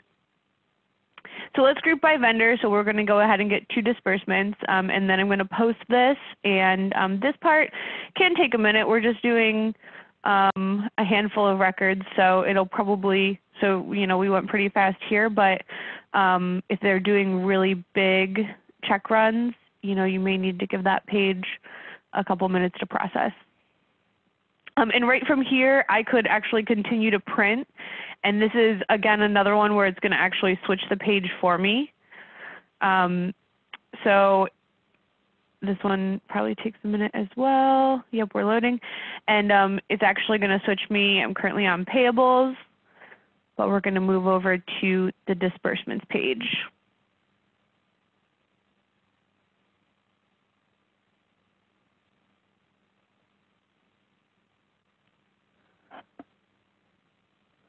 While this is loading, um, before we get into the disbursements, do we have any questions about that part of the process?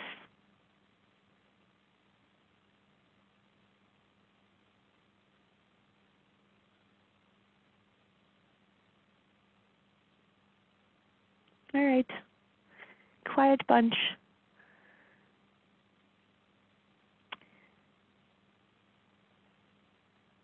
All right, we'll just give this another minute then. Oh, there we go.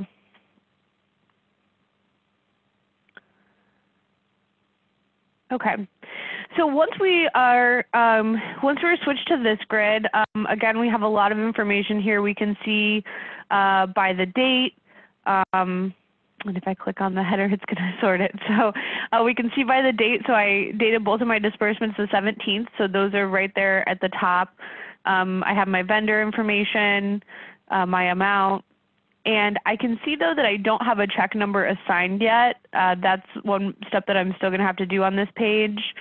Um, but I also have um, options to look at, you know, other disbursements reconcile date, the status, um, and then whether they were printed or not. When I'm actually in the process of doing this, uh, like check run this expenditure process, uh, the easiest way when I get to this page to kind of narrow it down is to click this checkbox for show printable. This will immediately um, get me down to just the disbursements that need to be printed or the checks that would still need um, a check number assigned. So let's uh, just continue with our two here. And um, if we want to complete this process and get the check number, get the file that we can actually print our checks with, um, we would do this generate print file.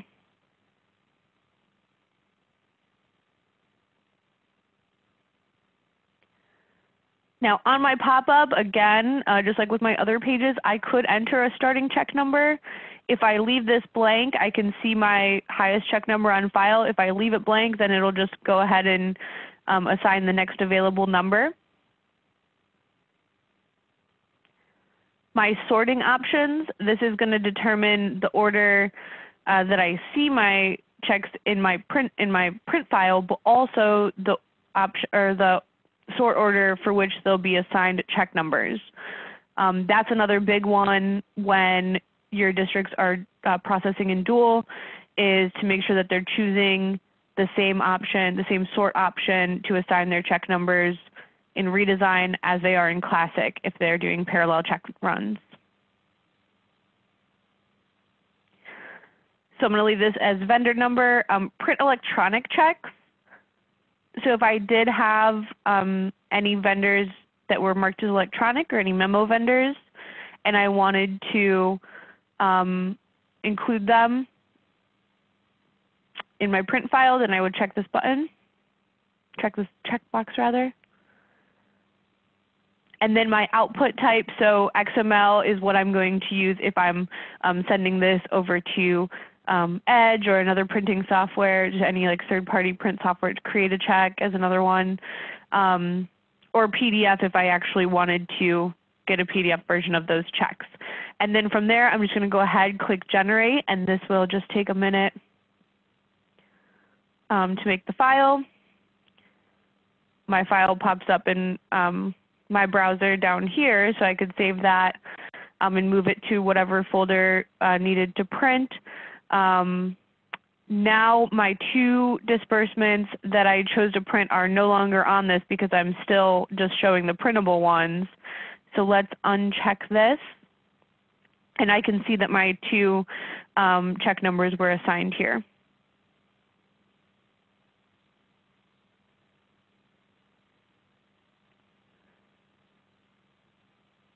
So that's the basics of my expenditure process from requisition to check. Um, I do have additional things that I can do on this disbursements page uh, once the check's cut. uh, you know, we see that there's a reconciled date and a status here. So once this clears the bank, I may want to reconcile this check. Um, I would just check this box, um, or I could check multiple and uh, click to reconcile up here. I can give it a date.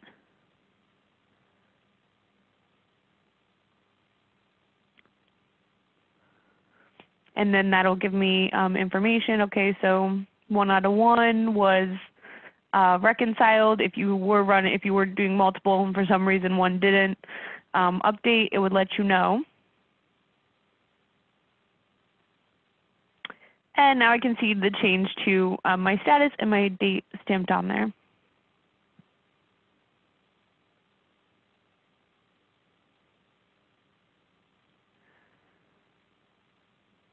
Um, I also have unreconcile option. So if for some reason I needed to um, update that check or maybe it shouldn't have been reconciled, I can just as easily click to unreconcile.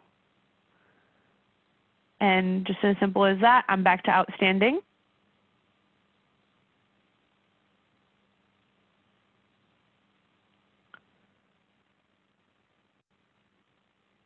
Um, auto reconcile, there's a configuration option um, that will kind of, I think that's in, uh, let's see.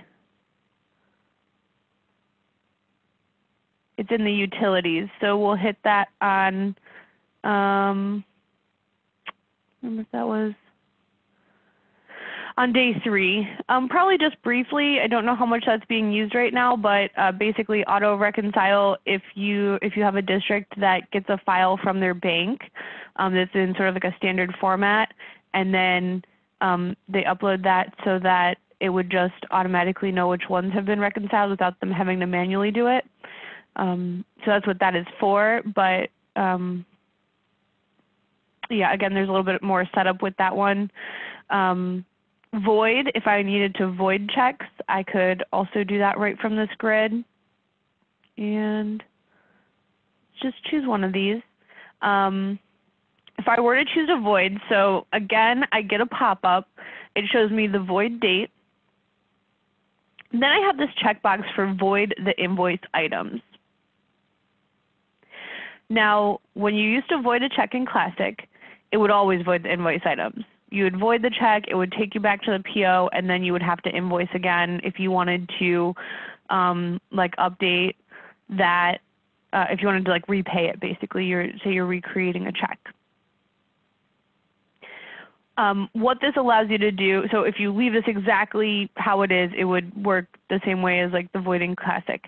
Um, but if I don't want to void the invoice items, if I uncheck this, what this allows me to do is um, void just the disbursement, but still have this show in payables.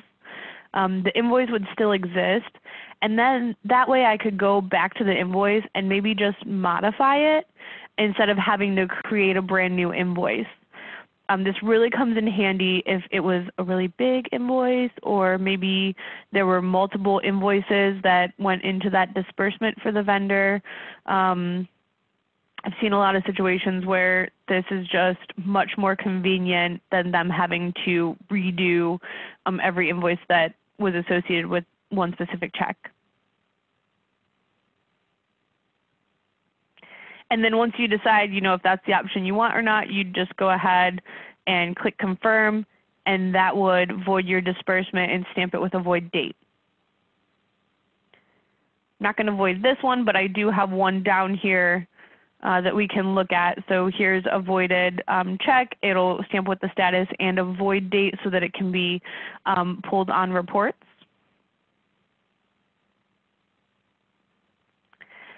And if you do ever need to change the void date, um, once you're viewing that um, transaction, you do have this option up top to change that void date if needed.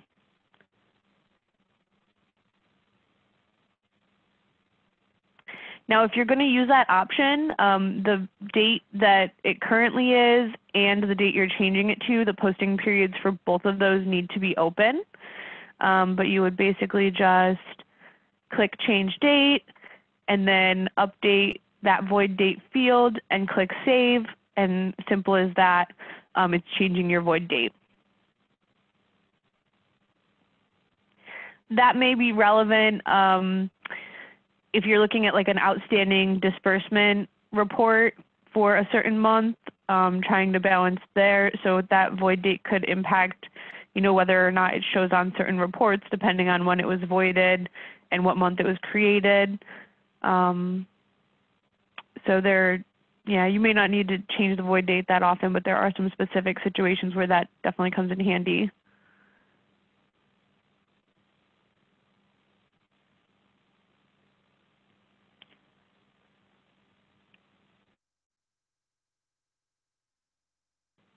The last, um, the last one I want to talk about on this page is the resequence option. Let's grab a couple of these here. Um, so resequence we have at the top. Um, again, we get a pop-up here. This, it is tied to a specific bank account um, just because when you're, um, basically kind of how when you generate your um, your checks, it links it to a bank account. Um, but what we really want to focus on here is our original start and end number. Um, and actually, I checked my boxes, you could see them, but really what it's going to go by is not my check transactions. It's going to go by um, what I enter in this box here. So let me see. And I'm so, I apologize if it's kind of blurry when I have that pop up there. I think it's my um, remote connect on my machine. So I'm just going to have to jot down my numbers real quick because I'm having a little bit of trouble seeing them when it's grayed out. Okay, so let's do this. Let's resequence. Again, doesn't necessarily matter if those are um, checked or not because we're going to enter our start and end numbers in here.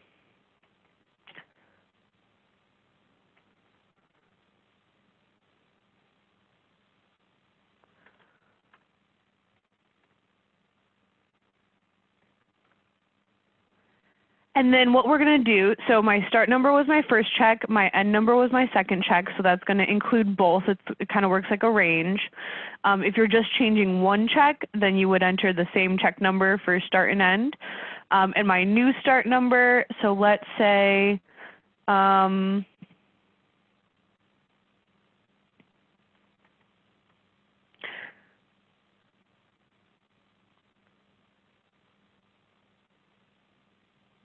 one more zero and try and make sure that's not used.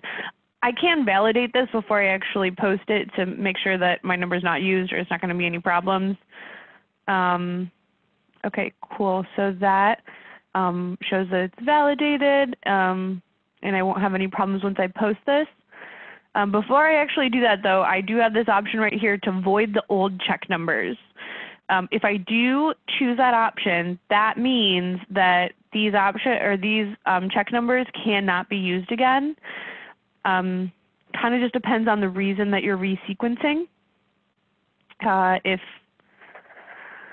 um, you know, if you're trying to just correct the numbers or free them up, uh, change your series, you may not want to actually void the old check numbers. Uh, there are some situations where you may want to, if there was a destroyed check or something like that um, then you may want to use that option. But for now, we're just going to leave that unchecked and go ahead and post this.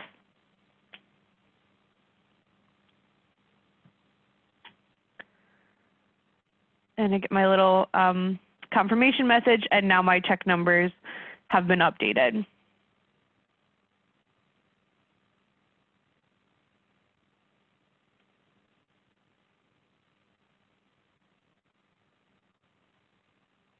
Alrighty. Okay, so I think we've hit everything there, uh, so we're looking good. Um, let's go ahead and hop to um, cover these other pages that aren't specifically a part of this core process. Uh, the first one I'm going to switch to is the activity ledger, and this will give us kind of a good um, a good overview actually of what we just did. And you know what? I should have written down my PO number though. We might have to go stop. Oh, there we go.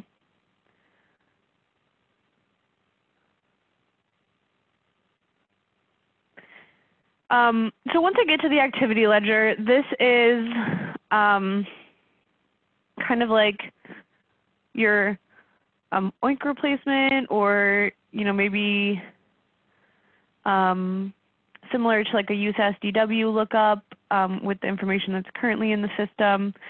Um, but this is basically just a super powerful lookup tool. Um, let's start by looking at this, uh, any transaction associated with this purchase order that we just made. Um, so let me go ahead, enter, I did my equals because I want to look at just the specific PO number. Once I filter this in here, um, I can immediately see a couple of things. My type column shows me the type of transaction, my date. Um, I did all of these on the same date since we're doing this today, but if you had sort of a progression where you know the purchase order was made, it was invoiced a week later, the disbursement was cut, that would be um, helpful to see um, sort of your dates there as the transaction went through uh, the system. And then I have my different line items. So if I wanted to focus specifically on one line item, I could also filter this down and see purchase order, invoice disbursement. I have my account codes that I can look at on this grid um, along with a lot of other items that I could add under that more option. Um, basically this compiles your PO, your invoice, your disbursement, your receipts, um, your transfers. It compiles all your different kind of transactions into one place um, for you to look up.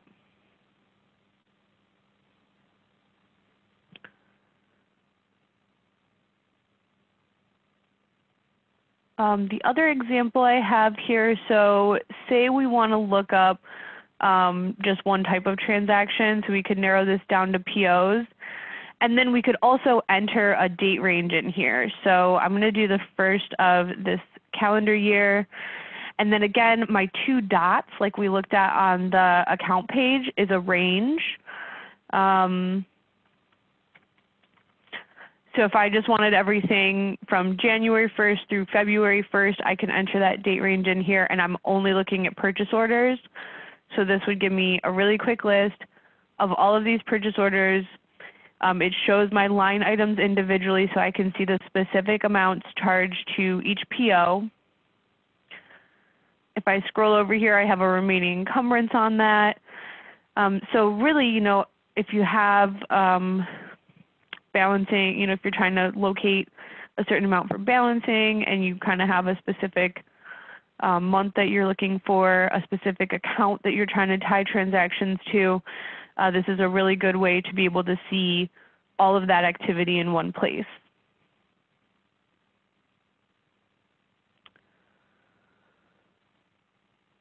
Um, yeah, the other thing I could do is um, let's look at, let's put our purchase order back here. I'm going to take out our date range and say we wanted to see um, all checks for a purchase order um, without having to run a specific report for that. Um, so obviously, you know, this is um, pretty much just our one uh, check number. Um, and we have a couple different uh, line items here. Let's see. Yeah, so um, basically we could pull up all checks for this purchase order and then if we did want to take that to a report, we could go ahead and just get a report right from this grid um, for that.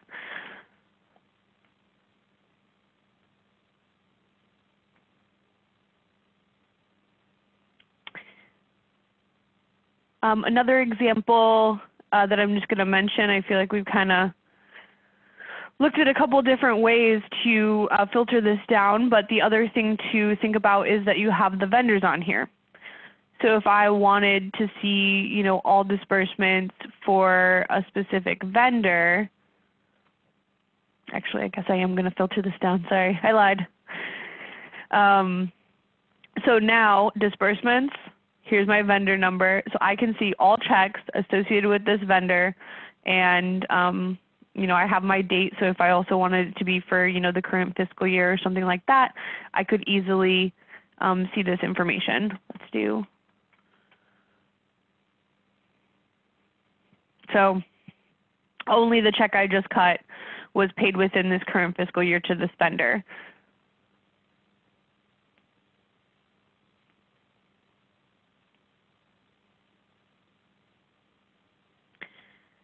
And I hope I didn't fly through too fast with all of the things that we could look at there. Um, but really, I think that the point is just this grid is super powerful. Um, you know, these are just a few of the examples of things that you can use this grid for.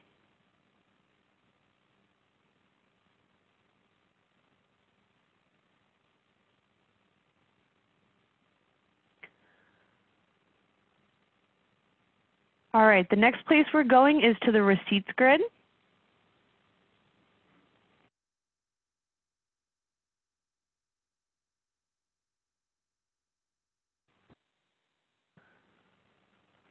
And again, we kind of have our basic information here, um, our receipt number, date, received from, and we could edit, view, or print any of these existing records. Let's look at creating a new transaction. I have my create new and close option. So if I need to enter a handful of receipts, I could check create new so that I can um, kind of keep getting new windows as I go. If I do close, it'll close this window up um, when I click save. So let's, we'll click that for now. Um, receipt number, same thing. Uh, we could enter one, or if we leave it blank, it will default. I've got my date field, and then my received from and my description. So, um, you know, if I had somebody specific I needed to put in, or you know, if I wanted to make a note where I received that from, um, I had a description.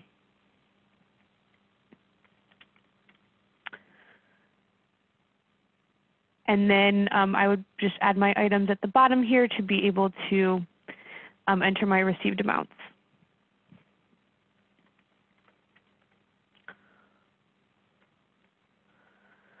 Now I do have a type field here. Um, RC is going to be an actual receipt that will use a revenue code um, or an RX is a reduction of expenditure. And so that would apply to an expenditure account.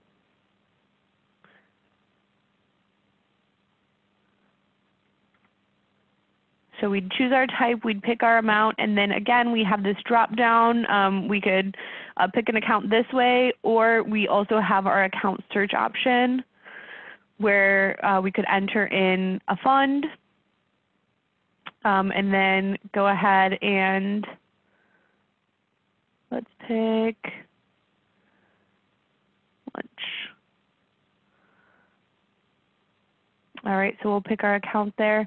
Um, I can add a line item or I can copy this one.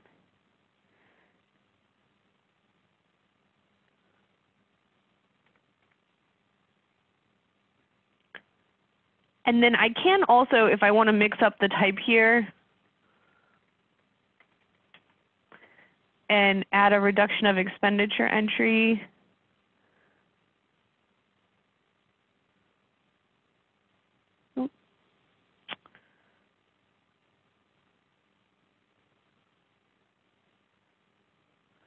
And then when I search here, now see how my account um, is kind of expanded? Because I have these other fields. These are my expenditure accounts now that I'm able to come in here and select.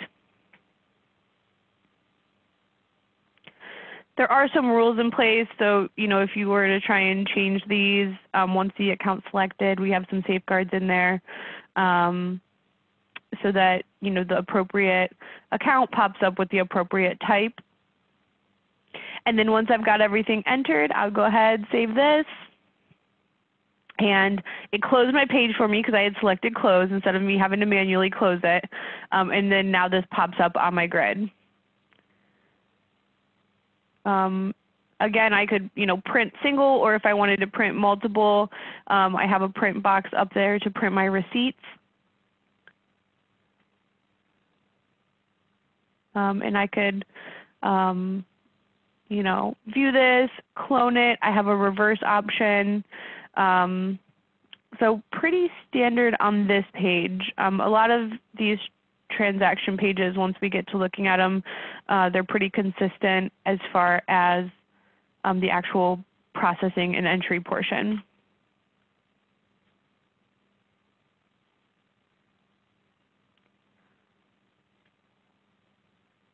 I'm going to roll right over to refunds. Um, we're going to see something pretty similar here. So I just kind of want to um, brief through these pages. Again, um, hope I'm not going too fast here. So if you guys have questions on these, uh, please feel free to speak up. I just don't want to be um, too redundant with some of these ones that, that kind of look the same.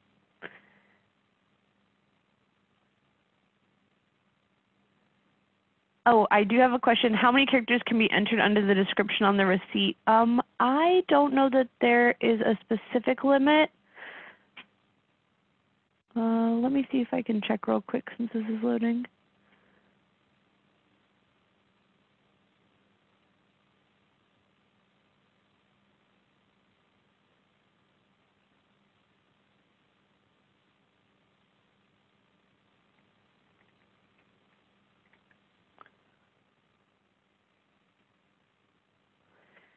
Um, yeah, I'm not sure if there's a specific uh, character limit on that description. Um, I think you can potentially like apply one. There's rules that can be written in that sort of thing.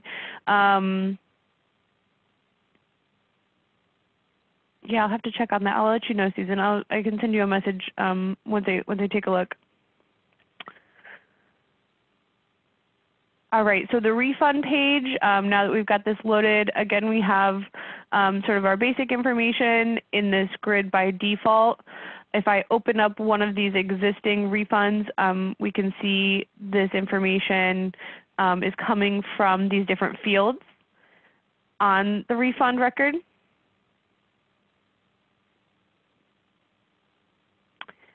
And let's go ahead, let's add a new one of these too. So again, we just do create to make a new one.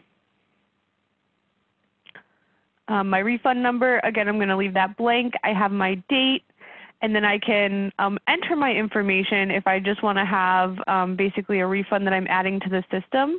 But if I want to have a check that goes with this, I would click this create a check um, checkbox, my check date, um, again defaults, but I can update that if I need to. I can attach to the bank account, um, if that's different than default, I would have an option to update that. And then I would select the vendor that I want to um, give this refund to. So once I selected my vendor, um, I just want to also note that this refund to updates to match the vendor, um, but I can still give it a description.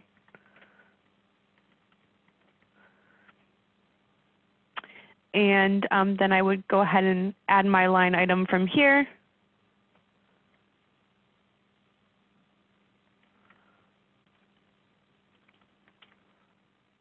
and pick my account code. Again, I also I have that search, but I'm just going to pick one from the list this time. And um, then I will save this.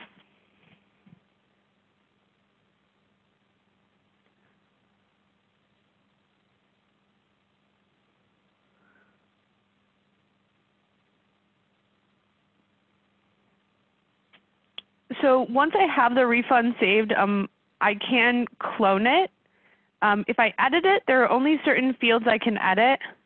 So let me wait till this finishes loading and then we'll take a look at that.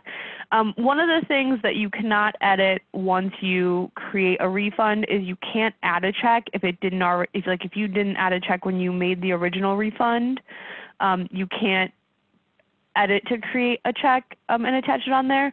That is something that we have an issue for though to update in the future um, so that you know it may not always be the case. Um, but for the time being, if you need to reverse a refund, um, basically your process there is to um, add another refund with a negative amount to the same account. So that would basically counteract it, cancel it out, and then you could make a new refund um, or clone your original to create a refund with a check.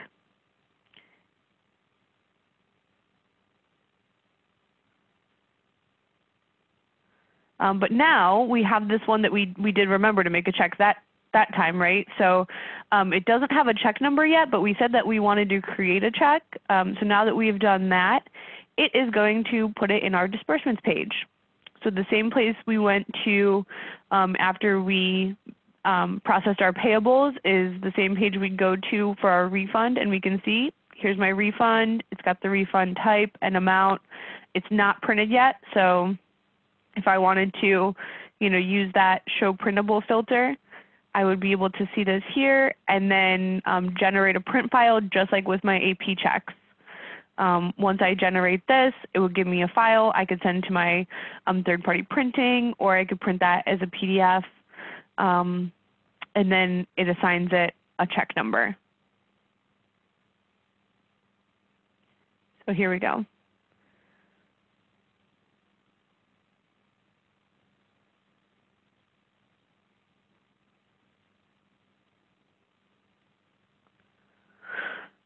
All right.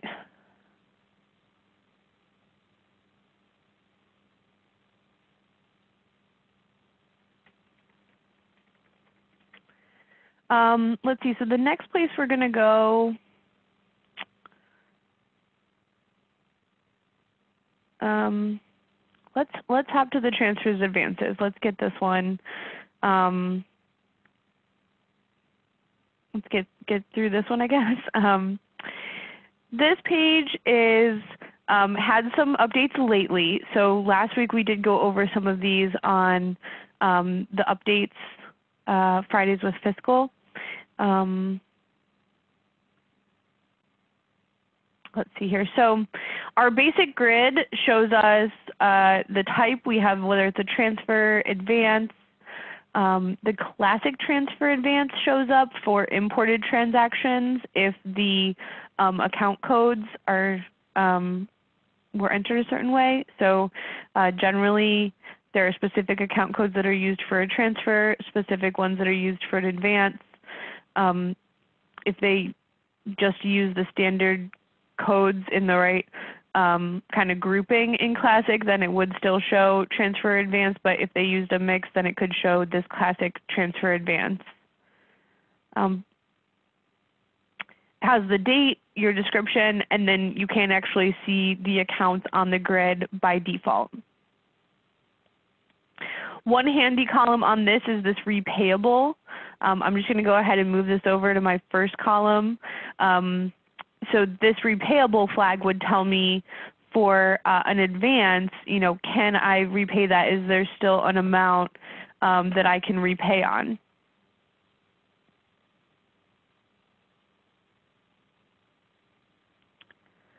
Um, as far as creating transactions, so if we open this up um, to make a new transaction here, I would designate at this point whether it should be a transfer or an advance. Um, if I'm entering a transfer, I would just enter the amount, again your date,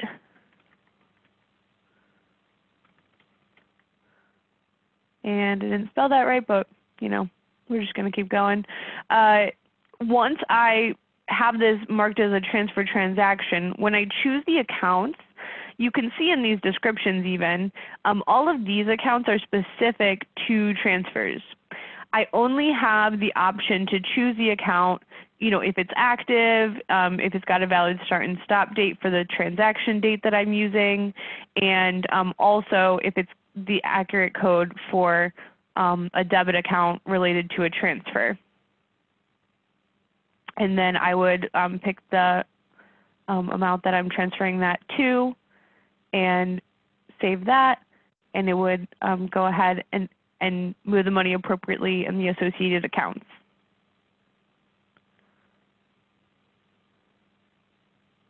Uh, let's also create an advance real quick so we can take a look at the um, related accounts there. Um,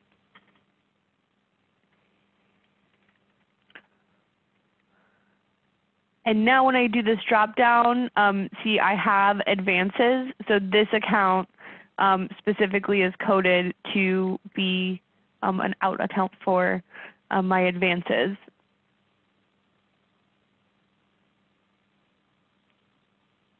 Um, so certainly if um, you have districts that are saying that they um, aren't finding a specific account that they want in that dropdown, the first thing I would check is that it's a valid code for which type they are trying to use. Um, they may need to create it on the account page if it doesn't exist. Um, if neither of those things are the case, then you'd want to check the start and stop dates there. Um, but let's go ahead, we'll save this up. And um, now that we have an advance, you'll notice that this looks a little bit different than when we saved the transfer. Um, the transfer kind of just had that basic info, um, but our advance has um, this grid at the bottom for repayments. So one of the things that we improved recently, um, you know, in Classic they would um, do that act mod, enter in you know, where that trans that money was transferring to or from, but it didn't really link together.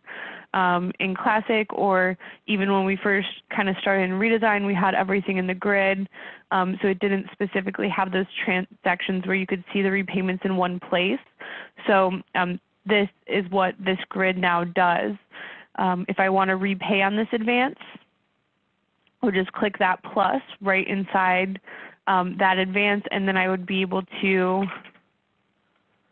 um, it populates the amount. If I was only paying partial, I might update that. Um, and then I add my description and save. And then I can see my repayments um, right together with my advance information.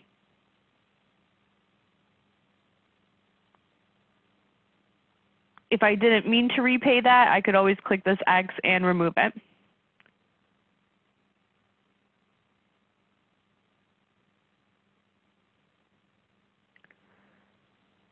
Um, the other thing with adding this though, so I mentioned that you know Classic didn't um, necessarily link those transactions. Um, so when um, maybe when you import your districts or if you have districts that are already um, in redesign, this could be done.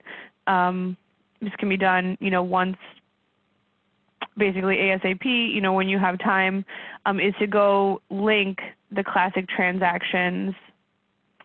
Um, and actually I opened one that was a new one. I want to find one of these legacies um, to go link the uh, classic repays to the advance. So let's actually, let's open up um, one of my imported transactions and here I can see it had a, you know, a PO and a check number. So this was a legacy transaction. Um, and what I can see is that a repay was linked on here um, that would have been its classic uh, repay. But what I'm going to do is delete this so we can take a look at how that was done. All right. Um, so if you come in here, you haven't linked any of these classic repays, here's what you'll see is this link icon will be available.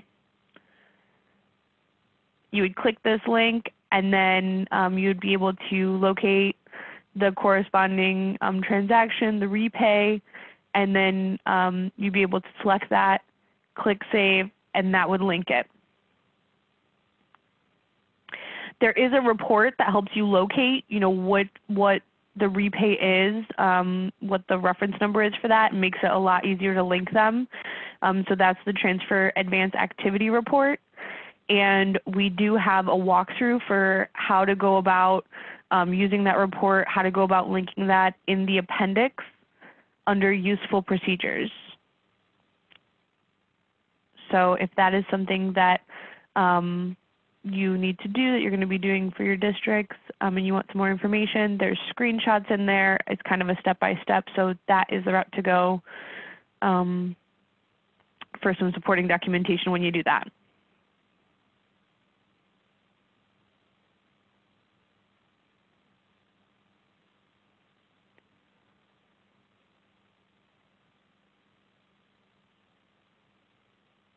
All right, I know those transfers advances have uh, changed a bit recently.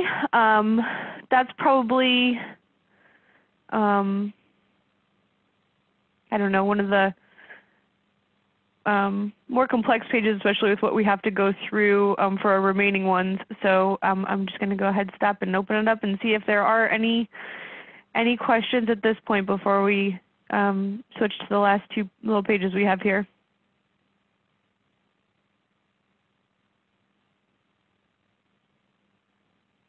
Okay. Alrighty, so then uh, let's keep going. We're going to hit pending transactions.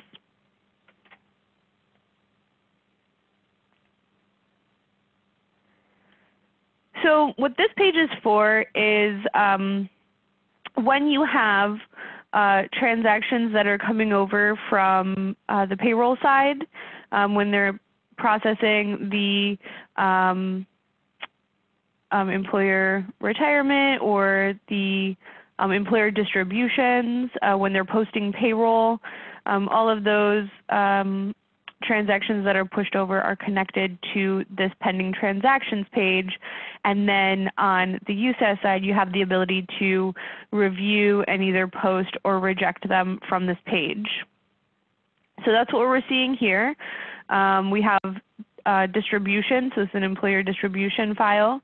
And if we click this edit icon, we can open up the detail, um, see the accounts and the amounts that, it's, uh, that it would post. And then um, we have an option to post, reject, or we could validate this um, to see if it would give us any errors or any negative amounts if we posted it. Um, once I click post, it's going to give me a little pop-up here. So I do have an option to post a transaction date. Um, you know, maybe this was, um, maybe you're right around month end, and so you're, you know, the timing of your file and then when you need to actually post it in USAS versus when it was created in USPS, um, you do have some control over when that transaction date is actually going to post so that that doesn't throw off your month, your like month to date totals. And then you do also have some options as far as um, selecting a payee vendor or um, you know, applying vendor information um, name and address to the vendor in your USAS system. Um, or you can just go ahead and post that and then um, for the distributions what this will do is make a purchase order and then the purchase order can be carried through that process that we just looked at. You could invoice the PO, post the payable and make a check so that you can pay um, your board side.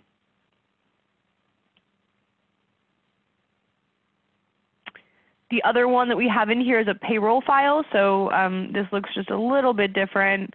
Um, still my same options to post, reject, or validate. Um, but when I post, I do have um, some different options here uh, because the payroll file, similar to Classic, it's going to take it right to the disbursement phase. It's skipping over um, some of those in steps in the middle with the purchase order um, and payables. So again, I have a transaction date. Um, since I'm going to a disbursement, I can pick if there's a specific bank account that I want that to be tied to. And then um, the option to post it as electronic um, as basically like an electronic check. So um, when we've seen that before, that's saying, you know, is it going to be basically a memo transaction? If you want to be able to print a paper check for your payroll posting, um, or if your district wants to do that for their payroll posting, then they do want to uncheck this electronic checkbox before they um, post their payroll.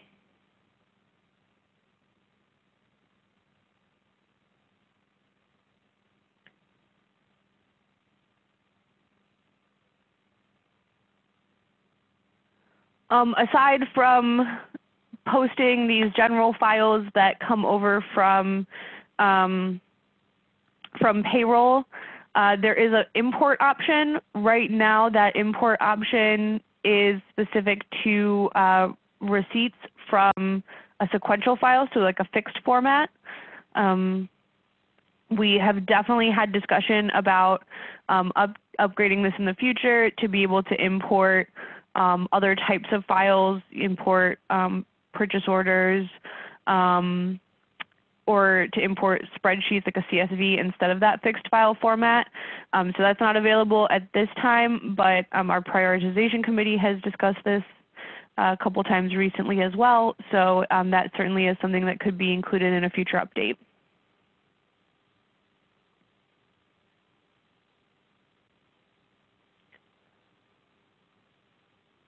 All right, and um, we are uh, moving right along. We only have one more page to cover on this menu. So that is the distributions and error corrections.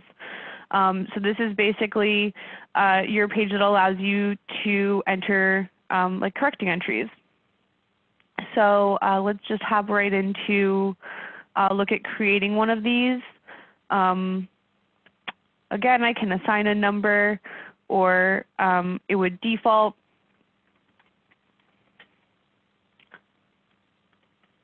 Um, so basically, if I wanted to um, change the, where the expenditure was charged, so say um, I accidentally you know, put a charge to the wrong account, but I don't really want to void the check. I just want to correct where that was um, charged to. Then I could um, enter this let's put check account. Um, I could enter this uh, correcting entry instead, so this distribution error correction. Um, what I would do is come down here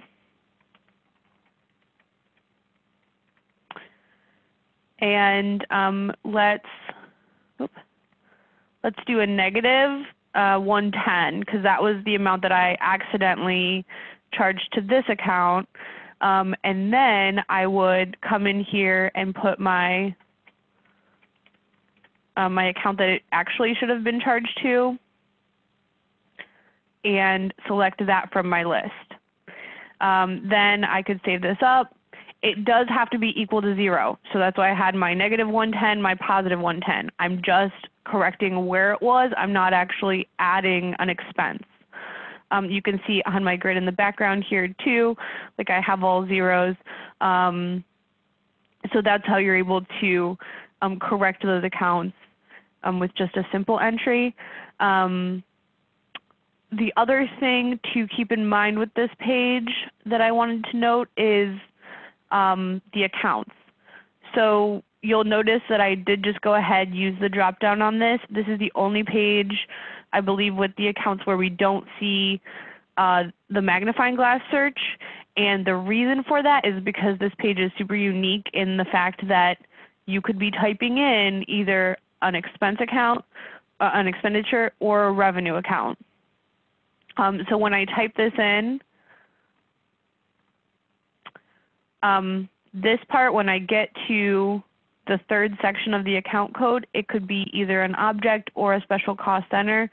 So um, you'll notice this goes away when I start typing in the object.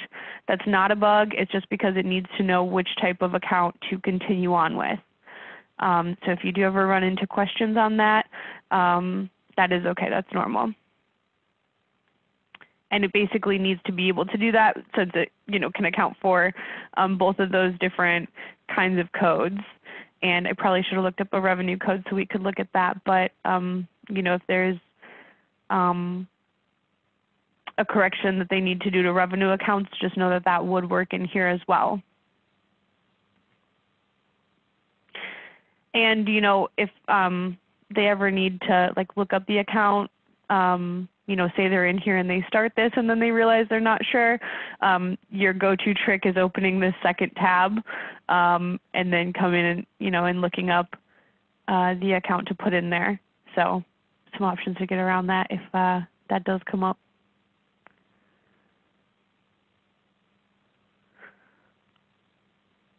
Okay.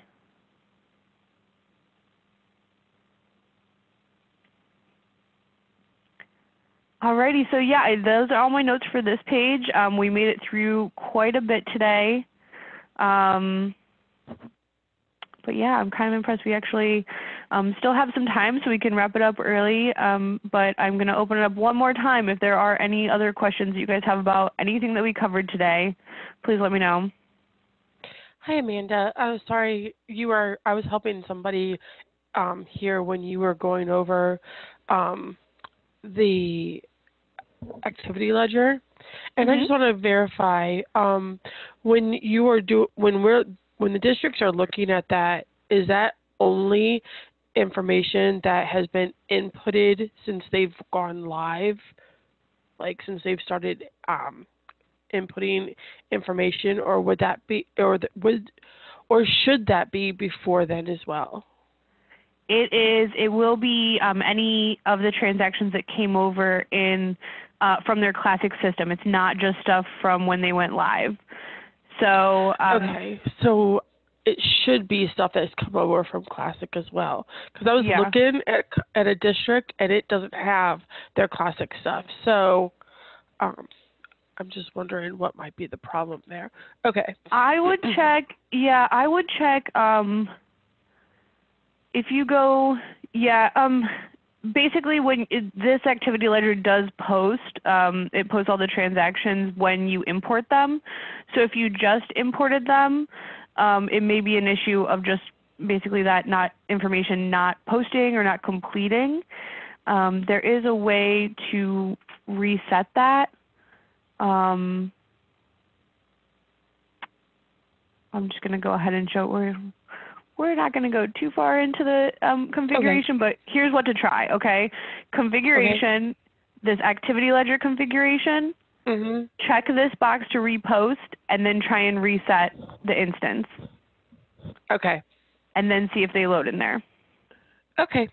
Thank you Okay. so much. No problem.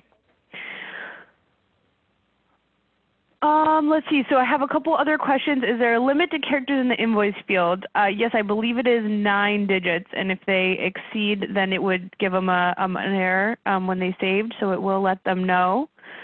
Um, and also, can you use XREF accounts for receipts and reqs and POs?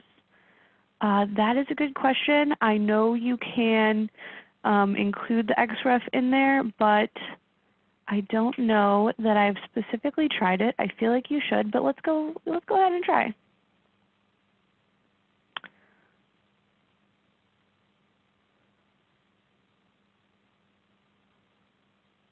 Just gonna edit this first one here. Oh, we probably should make this active.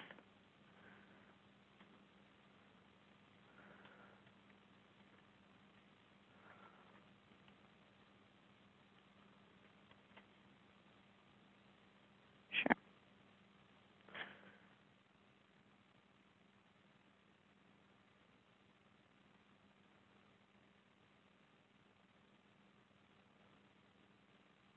And let's go into um, actually make a purchase order because I know we definitely looked at those purchase orders and converting. Um, but since we're going to run a test on this anyways, um, you know, if you have districts that don't use requisitions or, you know, maybe there are certain situations where they just want to create a purchase order um, without having to do the requisition, they can just create a new purchase order uh, right from this grid as well.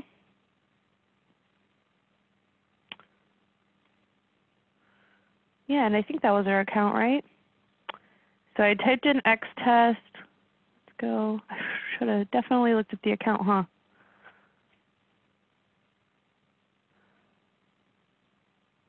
I think it's a good sign because it was right at the top. So 110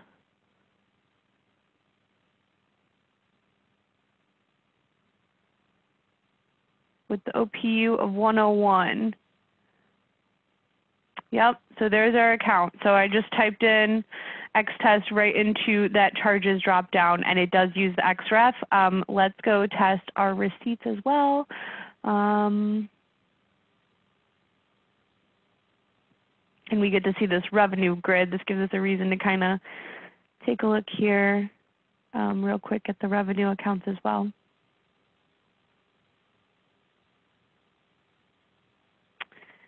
Uh, so let's pick our first one.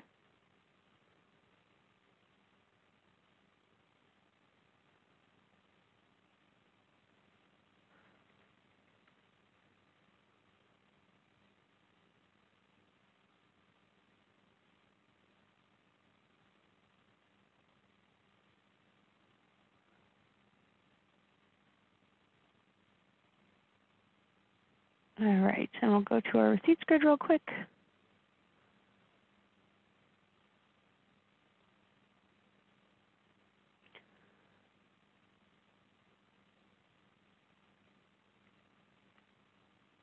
Yep. So both the receipts and um, reqs and POs, your XREF accounts will work. You just type your XREF right into um, that account drop down. If we look at the search, the XREF code is available in here too. So either way, um, users would feel comfortable using those codes, they will work.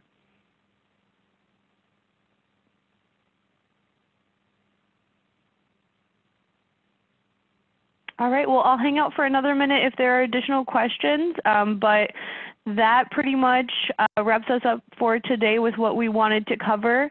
Um, tomorrow, again, we'll be starting at 9 a.m. Um, we're going to start right off with uh, budgeting, and then Michelle's also going to be talking about the periodic, extract, and um, system menu items. So um, yeah, we will uh, pick back up then. And then yeah, day three, basically reports and utilities. Um, reports are pretty heavy, so we'll probably be on that for most of the day. Um, and then just any other miscellaneous items um, at the end to wrap it up. So uh, thank you all for logging in today and uh, we'll, we'll maybe see you tomorrow. Um, but hope everyone is uh, doing well. All right, have a good day.